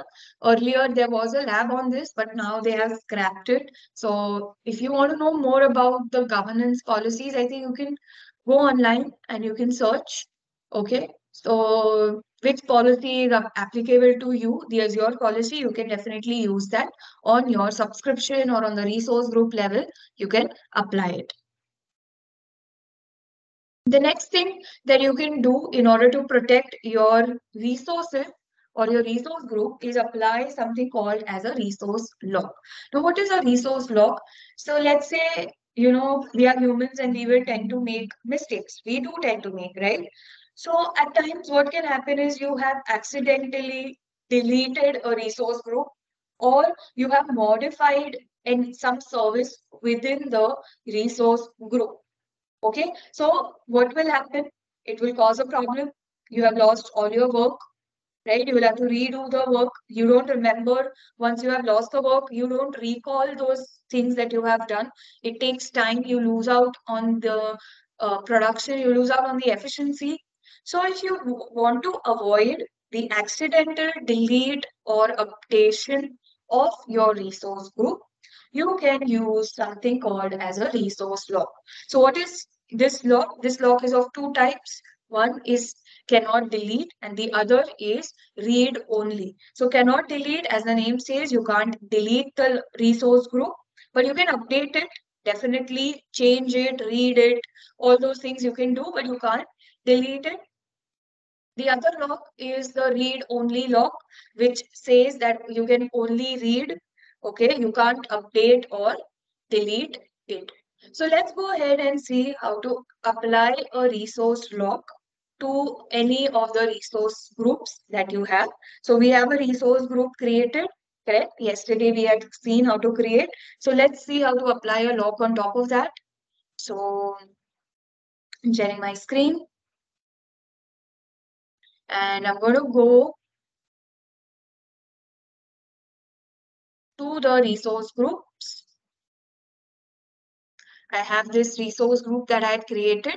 So if you scroll down on the left in the settings, you have the locks property. So just click on it. Say add. Give it a name. So I'm going to say cannot delete because I don't want this uh, resource group to be deleted. So instead of read only, you can go with only delete. Let's say I want to modify this thing, which I can't do it if I apply a read only lock, but in a delete lock, I can modify this resource group. I can add other resources, other services. I can do that. And once this is done, click on OK. And now you will see a lock created. So if you go to the overview, and now say delete resource group. Give it a name. Say delete. Can you see you're getting a message that this resource group is locked and it cannot be deleted. So you can apply a lock to the resource group that is there in case you want to protect your resource group from being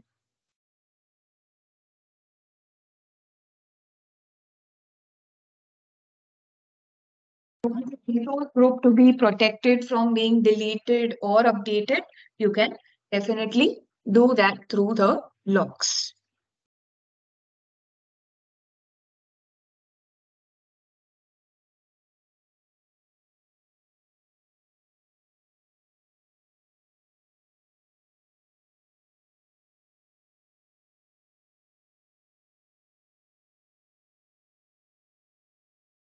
Now coming to the compliance, like I said, we have to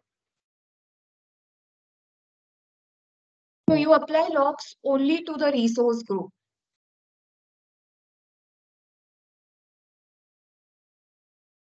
You can apply locks only to the resource group. There is no lock, or you can apply specifically to a service, but uh, there is a child lock that you can apply, which is in by default, it is then inherited. So if you apply to the resource group or to a specific this thing, then you can also do that to the specific service. So if you apply to a VM, yes, then it will only be um, so read-only updates, because you're not going to do any updates, so there will be no logs. Definitely, there will be a log of the this thing. So you, once you have created the VM and you can't change any settings, then of course they will not be logged. Okay, whatever incoming data, outgoing data, what if the VM is on, okay, and you are kind of working on the VM, yes, then that will be logged in, but it will update meaning in terms of resource group, like adding anything new to that resource group, adding a new resource to the resource group, all that means updated. It's not pertaining to the service. So your lock is not applied to the service if you apply it to the resource group. Okay, rest everything will work inside that particular service or the resource that you have created.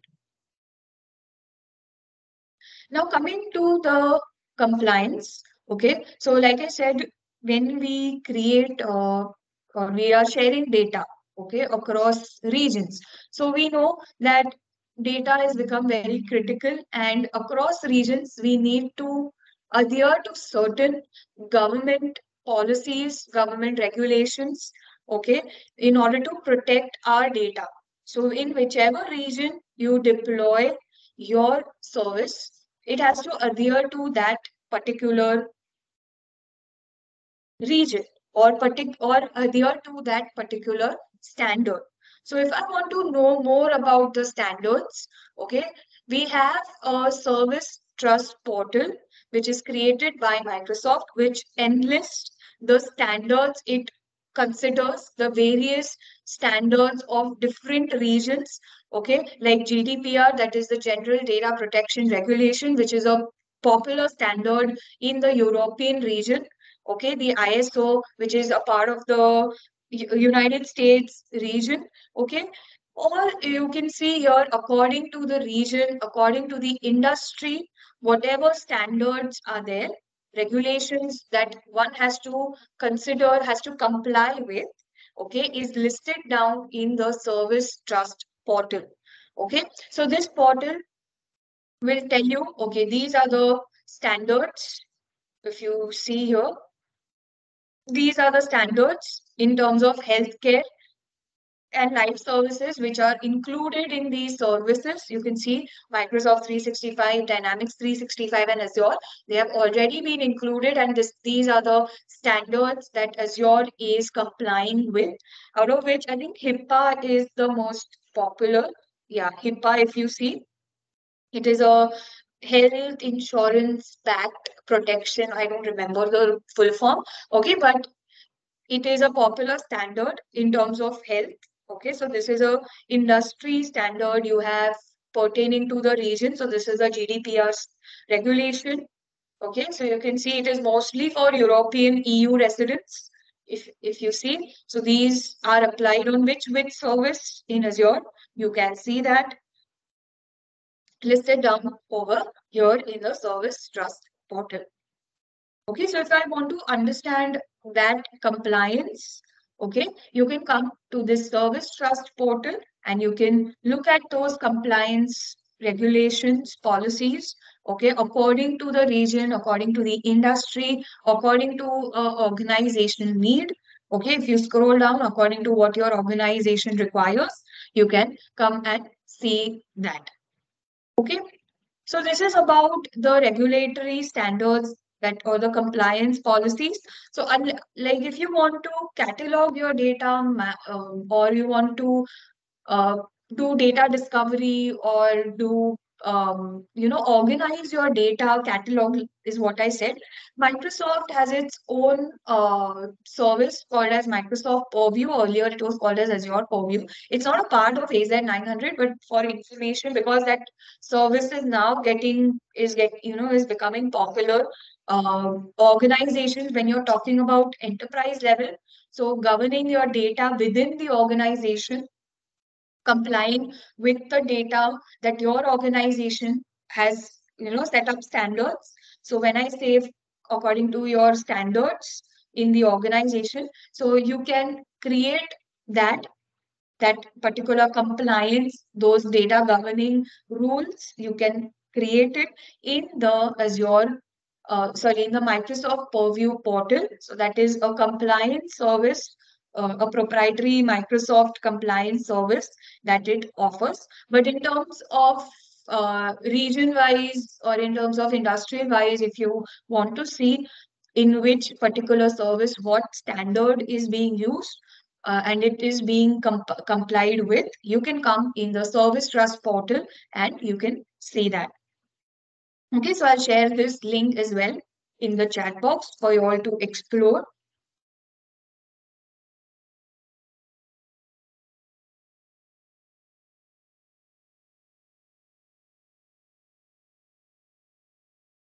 So this was about the governance uh, policies that you can use.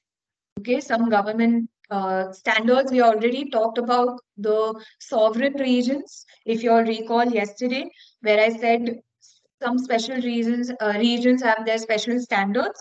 All of that you can go and see in the service trust portal. So this is what we saw right now. Okay. Now coming to the management and the monitoring tools, how you can access the Azure. Um, yeah, that I don't know, but you can see in the link that I have shared. Okay, uh, I'm not aware of the I just know ISO, HIPAA, GDPR, which are the popular standards. Rest, if you want to see, if it's a part of some region or part of some uh, or, or industry, you can just go ahead and see from the link that I have shared. Now coming to the management and monitoring aspect. So we saw that since yesterday we have been using the Azure portal to access the Azure cloud. So apart from the portal, okay, we have uh, other services as well and those are the command line interfaces. So there are two command line interfaces, that is the PowerShell, and second is the Azure CLI.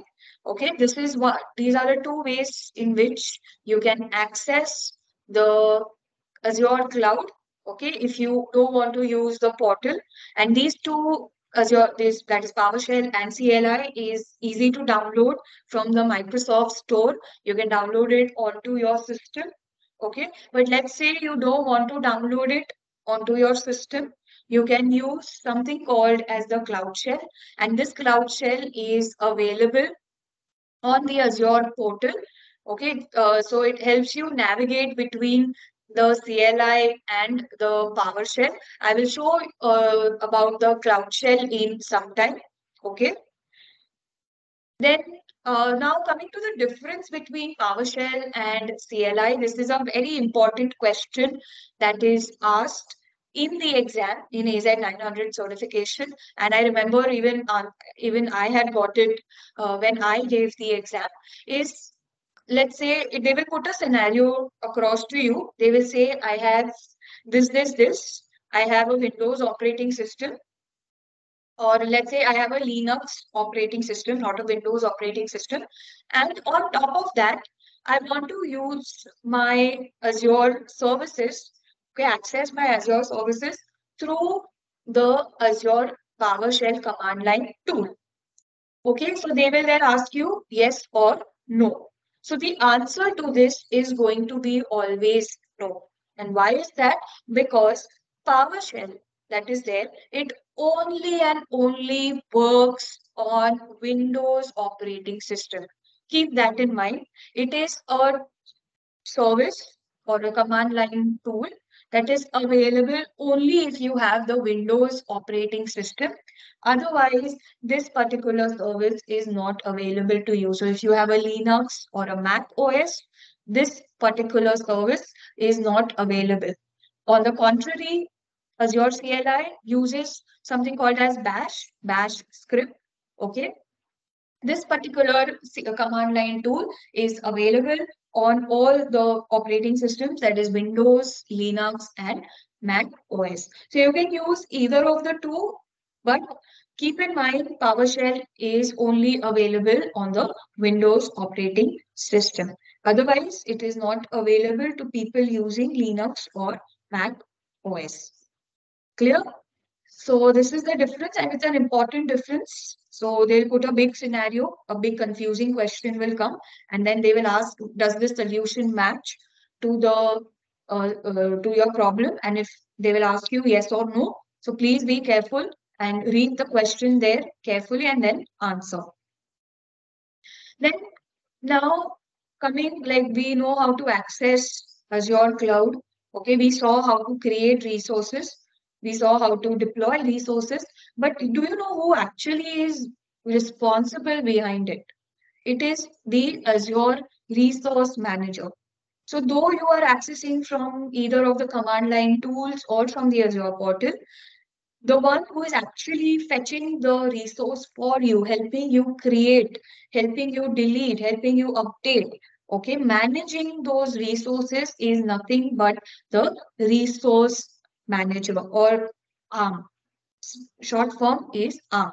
Okay, so once you have authenticated yourself and you, you have the authorization to create resources, okay, depending on the role that you have, you can get those resources, create those resources from the Azure Resource Manager. So this is the person who is responsible. This is the service, sorry, that is responsible to provide the create creation deletion updation of your services in as in your azure subscription on your azure cloud. Okay?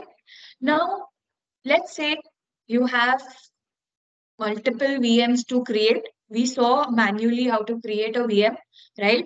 Let's say i want to create multiple vms using the same configuration Okay, so yesterday we saw that we, I was going and manually I was entering the values, giving it a name, giving it uh, credentials, deciding the ports to allow, okay, managing the disk, etc., etc. So it, let's say I, I want to do that for multiple VMs.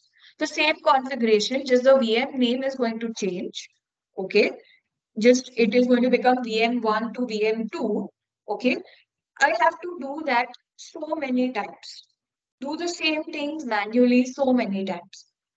So instead of going and doing it manually, Azure has made it easy for you by providing again a template called as the ARM template, the Azure Resource Manager templates. So what are these templates? They are like files, JSON files, that is the JavaScript object notation files, okay, which you can if you know how to configure, okay, it's like a key value pair. Okay, so wherever it is asking you for VM name, only that you have to change.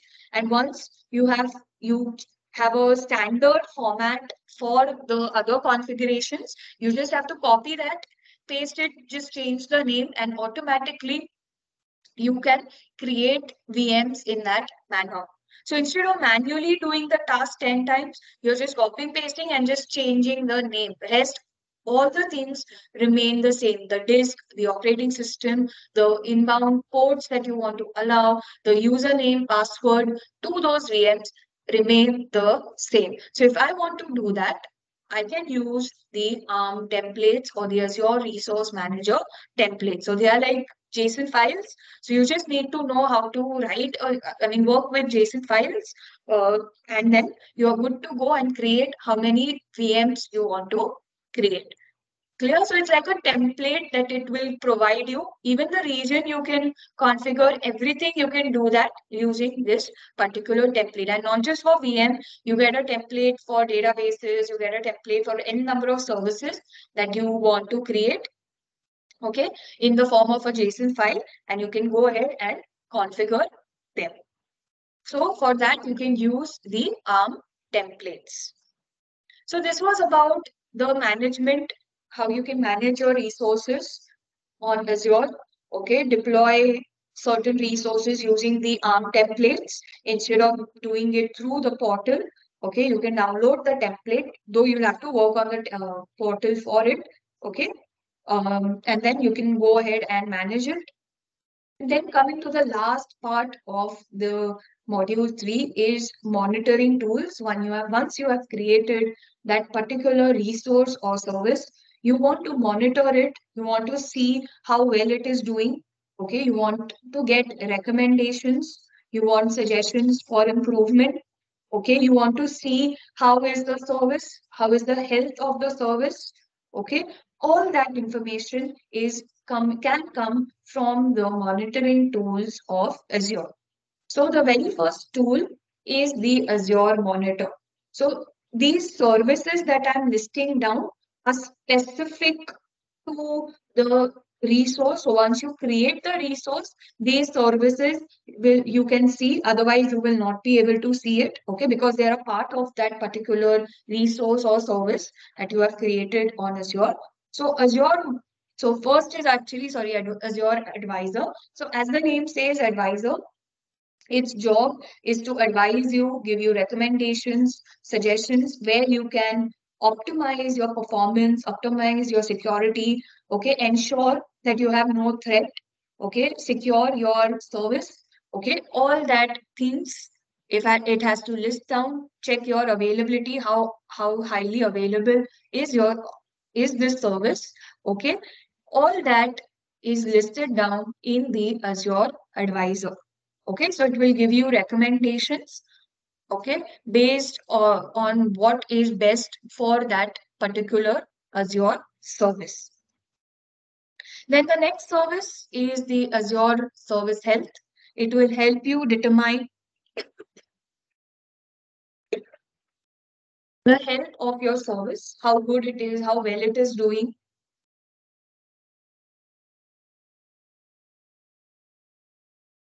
is it going to be available.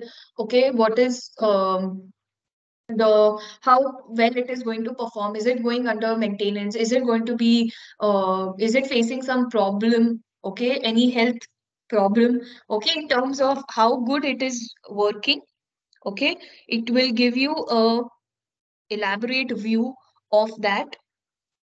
Okay so that you can decide how can you improve the health do you want to use this service or not in the future? You can determine that using the Azure Service Health. Then the final service that you can use, and I think this is the most important service, is the Azure Monitor. So if you want to monitor your service, monitor, watch the telemetry, okay, do a, get an insight of your application or of your service, okay? Uh, you can do that using the azure monitor. So if you want to see where the error occurred at what point the error occurred get alerts okay in the form of a dashboard kind of a thing you can do that using the azure monitor. So let me show you. We have a storage account created correct from yesterday. Let's and let's see where you can view all these services on azure So I'll navigate to my this thing. So if you go to the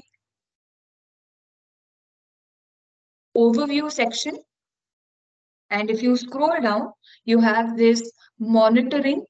So this monitoring is nothing but your Azure monitor, okay, which will give you the information about how much data have you ingested, how much data have you, how much outbound data have you, you know, uh, how much data has been outbound okay? What is the latency that you experienced okay? Was there any breakdown during the transition i mean during the uploading of your data okay? All that is provided in the azure monitoring service over here. You can even get uh, for something else like for blobs specifically also you can see. So since we don't have files or anything, I will not get much data about that. So here you can see there were a total of 79 success, okay, and only a 8% chance of error. Okay, all that monitoring you can do for blobs or for or something specific in your storage account. This you can't, this is not required. Then recommendation as your recommendation. As of now, I am uh, my service, my Azure has no recommendation for me. It thinks I am my service that I have deployed is optimized to the fullest. Okay, if required, it will give me recommendations. I can see those recommendations over here. And in terms of health, yeah, so can you see you have this resource health? Okay, it will give you a thorough analysis about your health, about the resource health how good it is, how bad it is, is it is there any issue that it is facing? Okay, so this is where you can add even an alert in case it you want an alert. Okay, the service is kind of going down. There is some uh, problem with the service. Okay, uh, it will give that alert, but you need to create that alert. Okay, you can even diagnose those problems using this feature.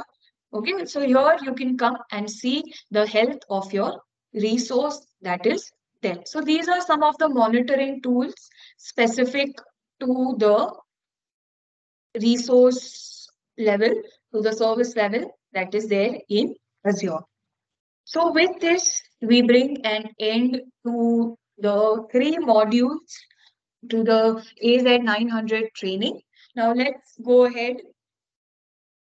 Yeah, you will get no alerts once you, yeah, you it will get you will get the alerts in your mail. So if you have used your personal ID in order to create the Active Directory, okay, on your Azure account, I mean the Azure account, so you will get a notification over there. Like I also get notifications in terms of my subscription coming to an end or something like that like you know the bill, new billing cycle etc all that alerts you will get it to your email there will be no sms but it will go to your email there will be an alert for that. So you can create that as well. Now coming to the exam prep. Okay, let's look at how you can prepare for the exam. So I'm going to go and share, I'm going to show from where you can schedule the exam. Okay, uh, from where can you study whatever we have seen as of now. Okay, from where, which site can you do that? Okay, just one minute.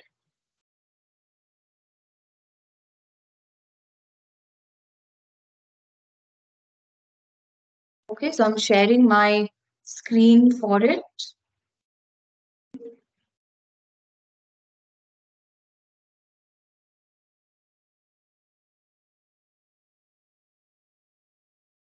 So Microsoft has a website called as learn.microsoft.com where you can get all the study material for uh, for any role that you're looking for okay, whether it's AI or uh, data or administrator, etc. You can come here and you can search for it. Okay, so if you go to the credential options, you can browse for credentials. So if you see on the left hand side, these are the services that are there, okay, product wise. So Azure, you can see these are the services or the documentation for the services that are there. But if you're looking for a role specific, you can come to the roles and you can see the services over here. You can even create custom paths for yourself. So if you come to the training and come to career paths, so you get a entire this thing. So if you want to become an AI engineer, so it will list down the collection for you. But I think I will have to sign in in order to see that okay, this is fine. So what you can do is you can just go onto these learning paths, learn from here, okay? Uh, create a self-paced learning path for yourself, okay? Using the uh, training career path, okay? And going to the browse collection, Okay, uh, you decide which path you want to do, and you will get a list of learning paths which you can go study. So if you click on this, you will get the documentation for that particular module that is there, and you can study it at your own pace. Okay, then what kind of a certification is required if you want to be an AI engineer, AI developer, that also is listed down so these are the basic modules that you need to cover. And this is the advanced advanced module, sorry, that is there that you can do once you complete these modules. So you can customize paths, okay, for your for any role that you want to pick, that you want to get certified on. Okay, you can even go for administrator. So administrator, these are the things. So you can just see So you can see the pre prerequisites, okay, that are there. And if you want to be an administrator, this is the instructor-led training, and this is a self-paced training that you can take on your own. Okay, so you can come here and you can browse for these paths. You can browse for certifications, which were earlier called certifications. Now they are called as credentials. Okay, so you can come and search for a specific credential. So since we have done AZ 900. So I'm going to go ahead and search for AZ 900. And uh, just a minute, I'll be back.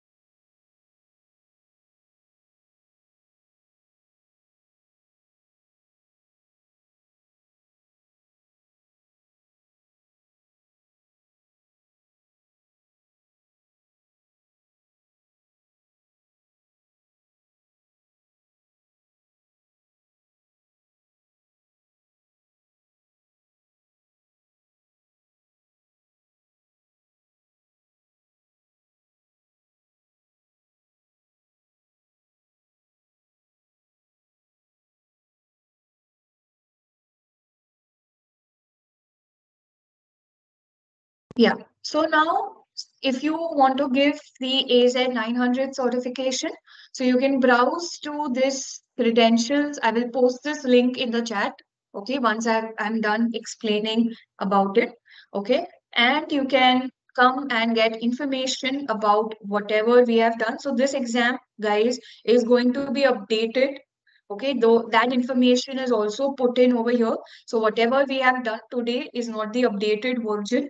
Okay so you if you in case in the future give the exam after 23rd of january make sure you come here and see the updates that are there.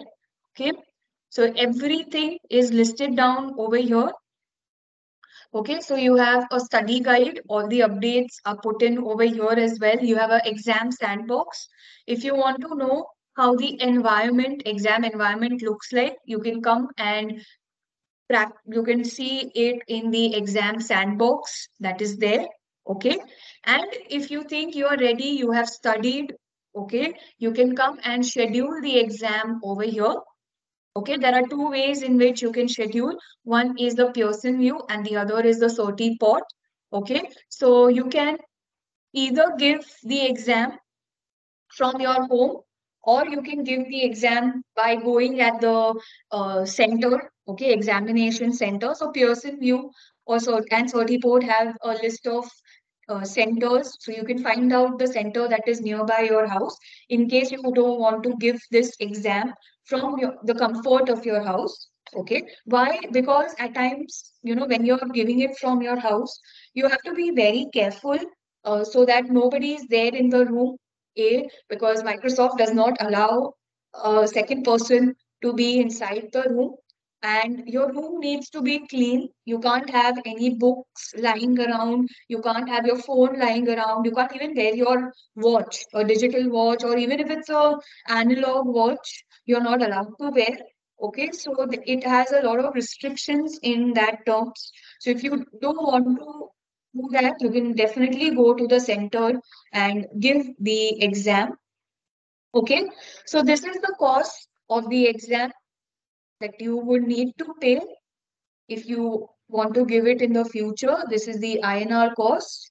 Okay, but if you purchase the exam. So we are, since we are Microsoft Gold partners, so we can provide you with exam vouchers, but you will have to purchase it. Uh, you will get around discount of 25%. Okay, so if you're paying 3,696, you if you purchase a voucher from us, you will get around 25% discount, which is still a lot, guys. Trust me. Uh, so in case you want to give exam AZ 900 or any other certification, not just AZ 900, any advanced role-based certification also or expert level certification also, you can purchase the exam voucher from us at a discounted rate of 25%. Okay. So this is where you can come and you can schedule the exam. So if you scroll below, this is what we have done today and these are the percentages of the or the weightage of uh, questions coming from each section. Okay? So around for the first module it is 25 to 30 percent. Mostly all of them are around 30 30 percent. Okay? Uh, you can just do that math and you hmm. can see and the second module is the most important module then you can where can you come and study? You can see there are two ways in which you can prepare. One is the self-paced and the other is instructor-led. Okay, so these are the modules. So the presentations that I made was not from here itself. So you can come here and you can study the study for AZ 900. Okay, so this is where you can come and schedule the exam. Now, in terms of the exam, uh, the uh, passing is 700 out of 1000 so you need to get 70% okay in order to get AZ 900 certification. There is no negative marking. You uh, there is there is no labs that you need to perform okay. The questions that will come so let's move on to the sample questions that i have So the up updates, even I don't know. Okay, you will have to come on 23rd and see. It's just next week. So you will have to come and see. I have no idea what updates they are going to do. Okay, so you'll have to go and see and um, yeah, you will get a receipt. So you can contact Chaitali or Archie okay you can get uh, contact call us on our mobile number. We have we have shared that in the chat box. So you can definitely uh, go and call us. Okay so my team will revert on it and you will get an exam voucher for the same. Okay uh, coming to the sample questions for AZ 900 I'll just show the sample questions. Okay uh, like how what kind of questions come? I will just glance through them for you all.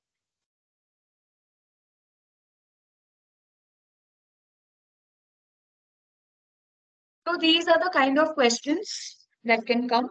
Okay, you can get, uh, yes, the exam will be valid after 23rd. Definitely, it's just, it's going to go, some updates are going to come in. Okay, I don't know what the updates are going to come in. You will have to come to this site and you will have to see. Okay, um, just make sure you do that okay? You there was a study guide link that i that was there. You can go there and you can see the updates. Uh, that also i will share in the chat box okay? Uh, but what kind of updates will come? I can't tell you that okay? Um also now coming back to the questions. These are the kind of questions. So you can get questions where you have to say yes and no okay? Match the following complete the or fill in the lines. Okay. At times there can be questions where you have to mark two or three options. Okay, it's not just one option is the answer. You have to mark two or three question answers to it, that question. Okay. Then you can get scenario based questions. This is the answer to the first question. Something like this, like I said, match the following. Okay, you can get then you can get a scenario and they will ask you for the appropriate solution.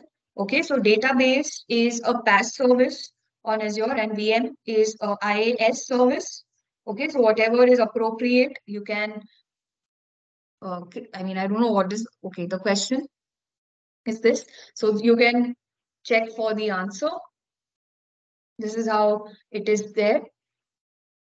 Then you can get a simple straightforward question, okay, and which will have only one answer to it.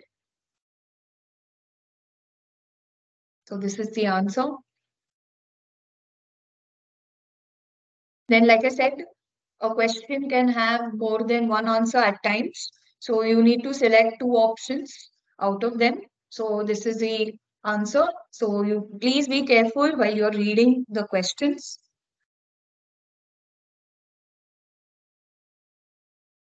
Then you can get a scenario based question and this is very popular. They will give you a scenario, they will give you a solution and they will ask, is this matching to your solution or not? Okay, so some something like this. I don't know if I have it.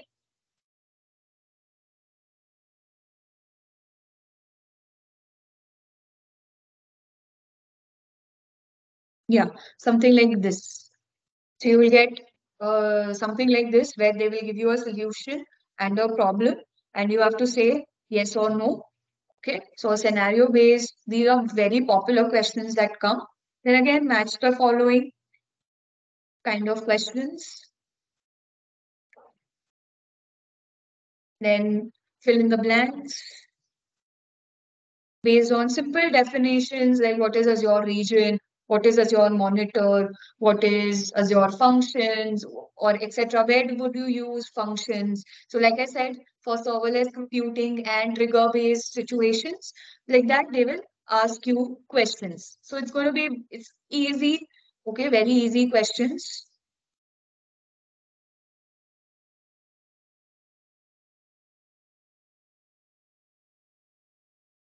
Something like this.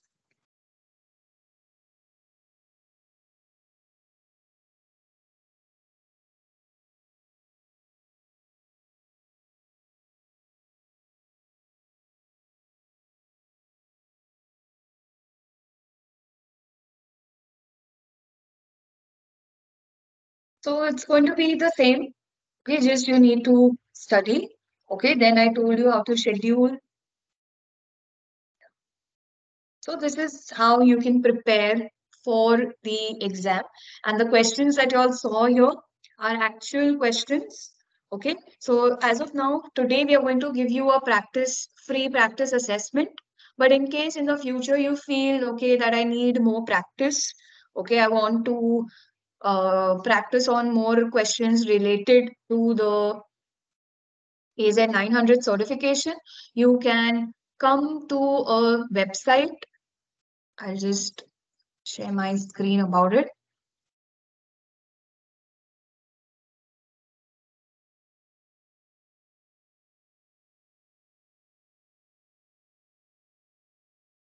You can come to a website called as uh, exam topics. So this is a very popular exam, uh, I mean, popular site for practicing something called as exam dumps. Okay, they have the latest questions on any so exam that you wish to give in the future. It's not just Microsoft. They even have for AWS, GCP.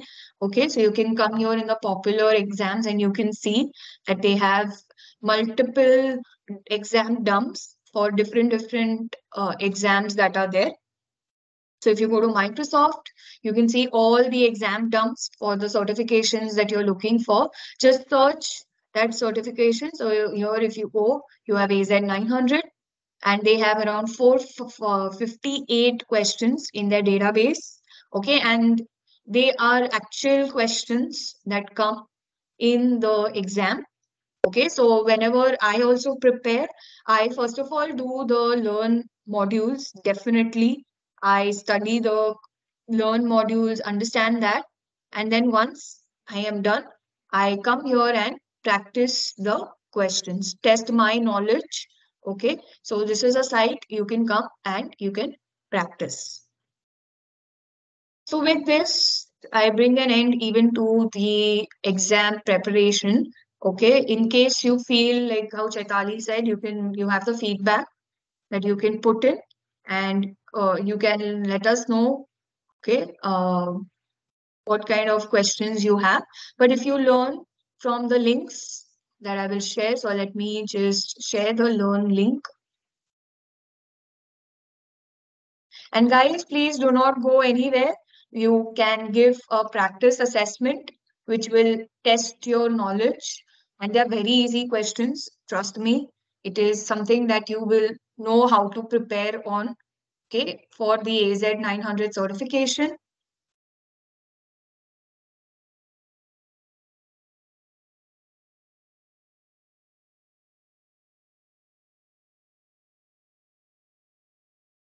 So if you need an exam voucher, you can contact my team. I think Chaitali has put him put her details, okay, her email ID, the company number. Okay, you can even go to our website and you can see all that uh, and you can uh, so I'll just exam topics as a general name. You can just type in the in your browser, Google browser or Edge browser, and you can get uh, the name for it. So if you need an exam voucher, you can mail it to us. Yes, it is a paid this thing. It's not free, sadly. Okay, uh, but if you want to practice, you can do the assessment that we are giving you now. Okay, for uh, few, I mean, it's a free assessment and it is something that Microsoft is providing. It's not us who is providing. So you can definitely take that assessment, okay, and try it out. So just give me a minute.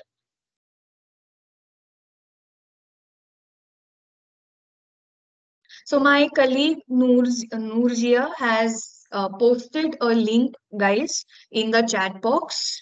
Please go ahead and take this assessment. I am giving you all 30 minutes to do it. And once you all complete the assessment, please put a done in the chat box so that we come to know and we can end this session, these two days of training that you had. So please go ahead and practice. Please go ahead, give this assessment and please put a screenshot of the that you have done. So you get a you'll get a message at the end once you complete the assessment. So please put that screenshot in the chat box so that we come to know that you have completed this assessment. So I'm giving you all half an hour. I'm, I will uh, start the timer. So guys, please go ahead and give the assessment. It is absolutely free. So please feel free to give it. And please share, please put the screenshot in the chat box so that we come to know that you have completed the assessment.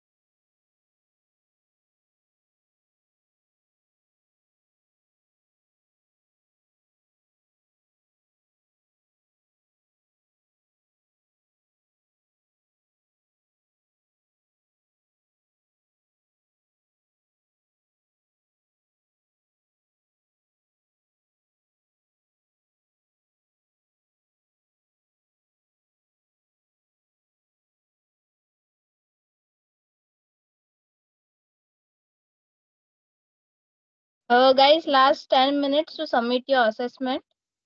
Also, make sure you submit the uh, screenshot of the assessment once you complete it in the chat box. As I can see, two of the participants has shared the screenshot of the completion of assessment. So guys, once you complete the assessment, please share the screenshot.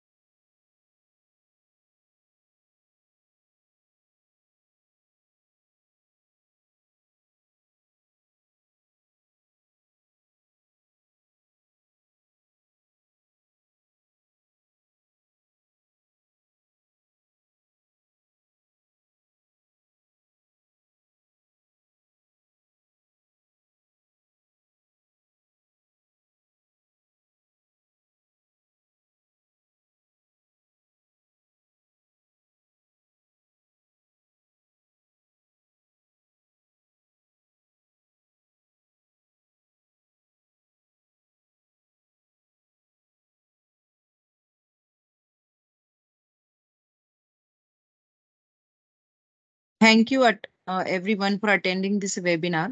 Uh, I have shared the link for feedback form uh, and kindly request you to fill the feedback form.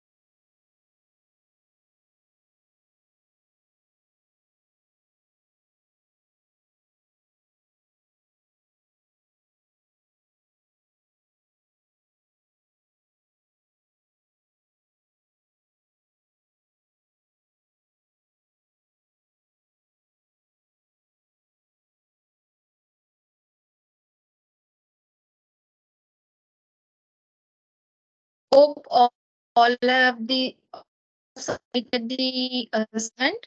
Uh, guys, as you can see on the screen, we have completed the one day of the webinar into half a day sessions. Uh, also, we have shared the learning achievement batch. Uh, so you can do self-learning on AZ 900 certification. Then uh, for the mentoring and exam prep session, uh, we have added a section where you can share your queries and question. So we all can come with uh, come up with the answers for all your questions. We'll take a small uh, one hour exam prep session in one or two weeks for you all. So make sure you submit your questions and queries in the feedback form. Also, we have completed the knowledge assessment. If you have uh, any doubt related to this plan, please uh, you can put your questions in the chat box. If you haven't received the badge redemption link, please let me know in the chat box. I can share that with you all. Also, we have shared the uh, assessment link with you all. So I hope you all have uh, attended the assessment.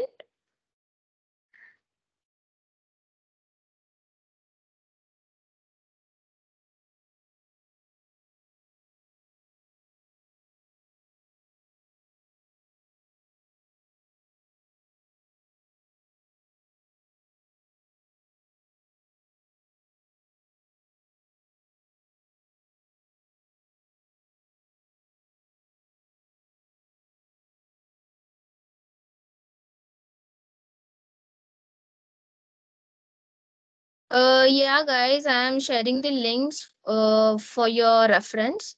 I am sharing the learning achievement batch as well as other details in the chat box. So you all can go and, uh, you know, get the redemption done for AZ 900.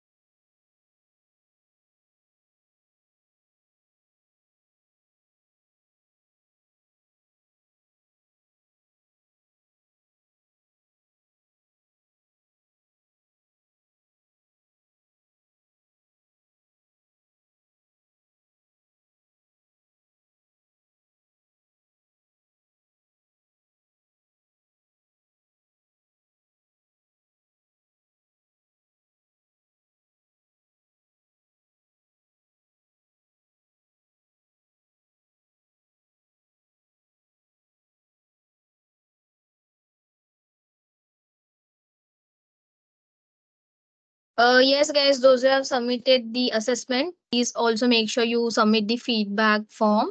The link has been mentioned in the chat box for you all. Uh, this feedback form uh, link contains the section where you can put the queries and questions, which we will cover in the exam prep session. Uh, we'll let you know the date for the exam prep session on your register email which you have shared with us. We'll definitely come up with the answers to your questions and queries. So make sure you submit your questions and queries in the feedback form.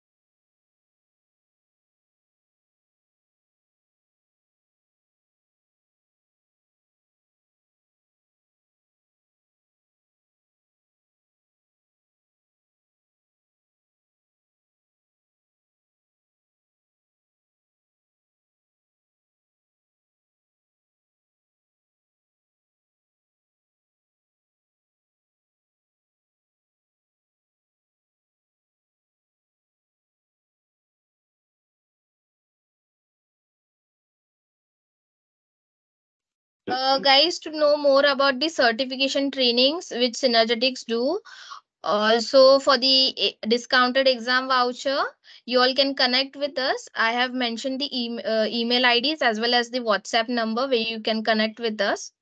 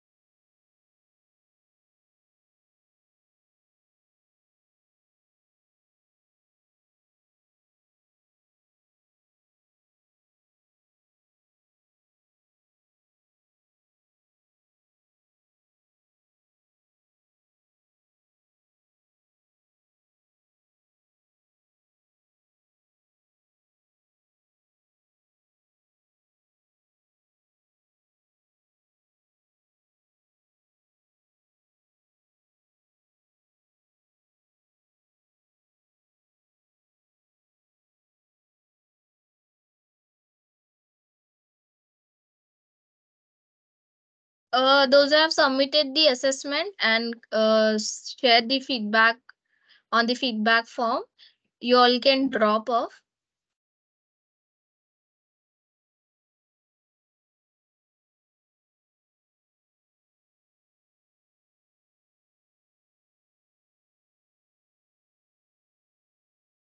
Thank you so much, guys, for sharing the screenshot of the assessment.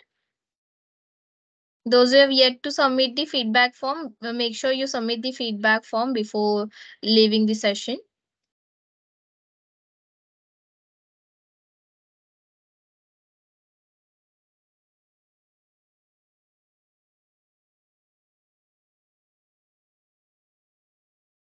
Thank you so much, guys. Also, I would like to thank Mansi for successfully conducting the two day of AZ 900. I hope all the participants have received immense knowledge uh, from her.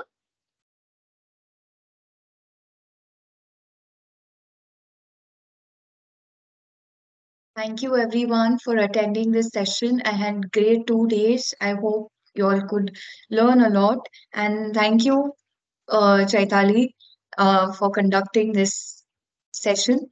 and have a great time, guys. Uh, all the best for the exam. Thank you.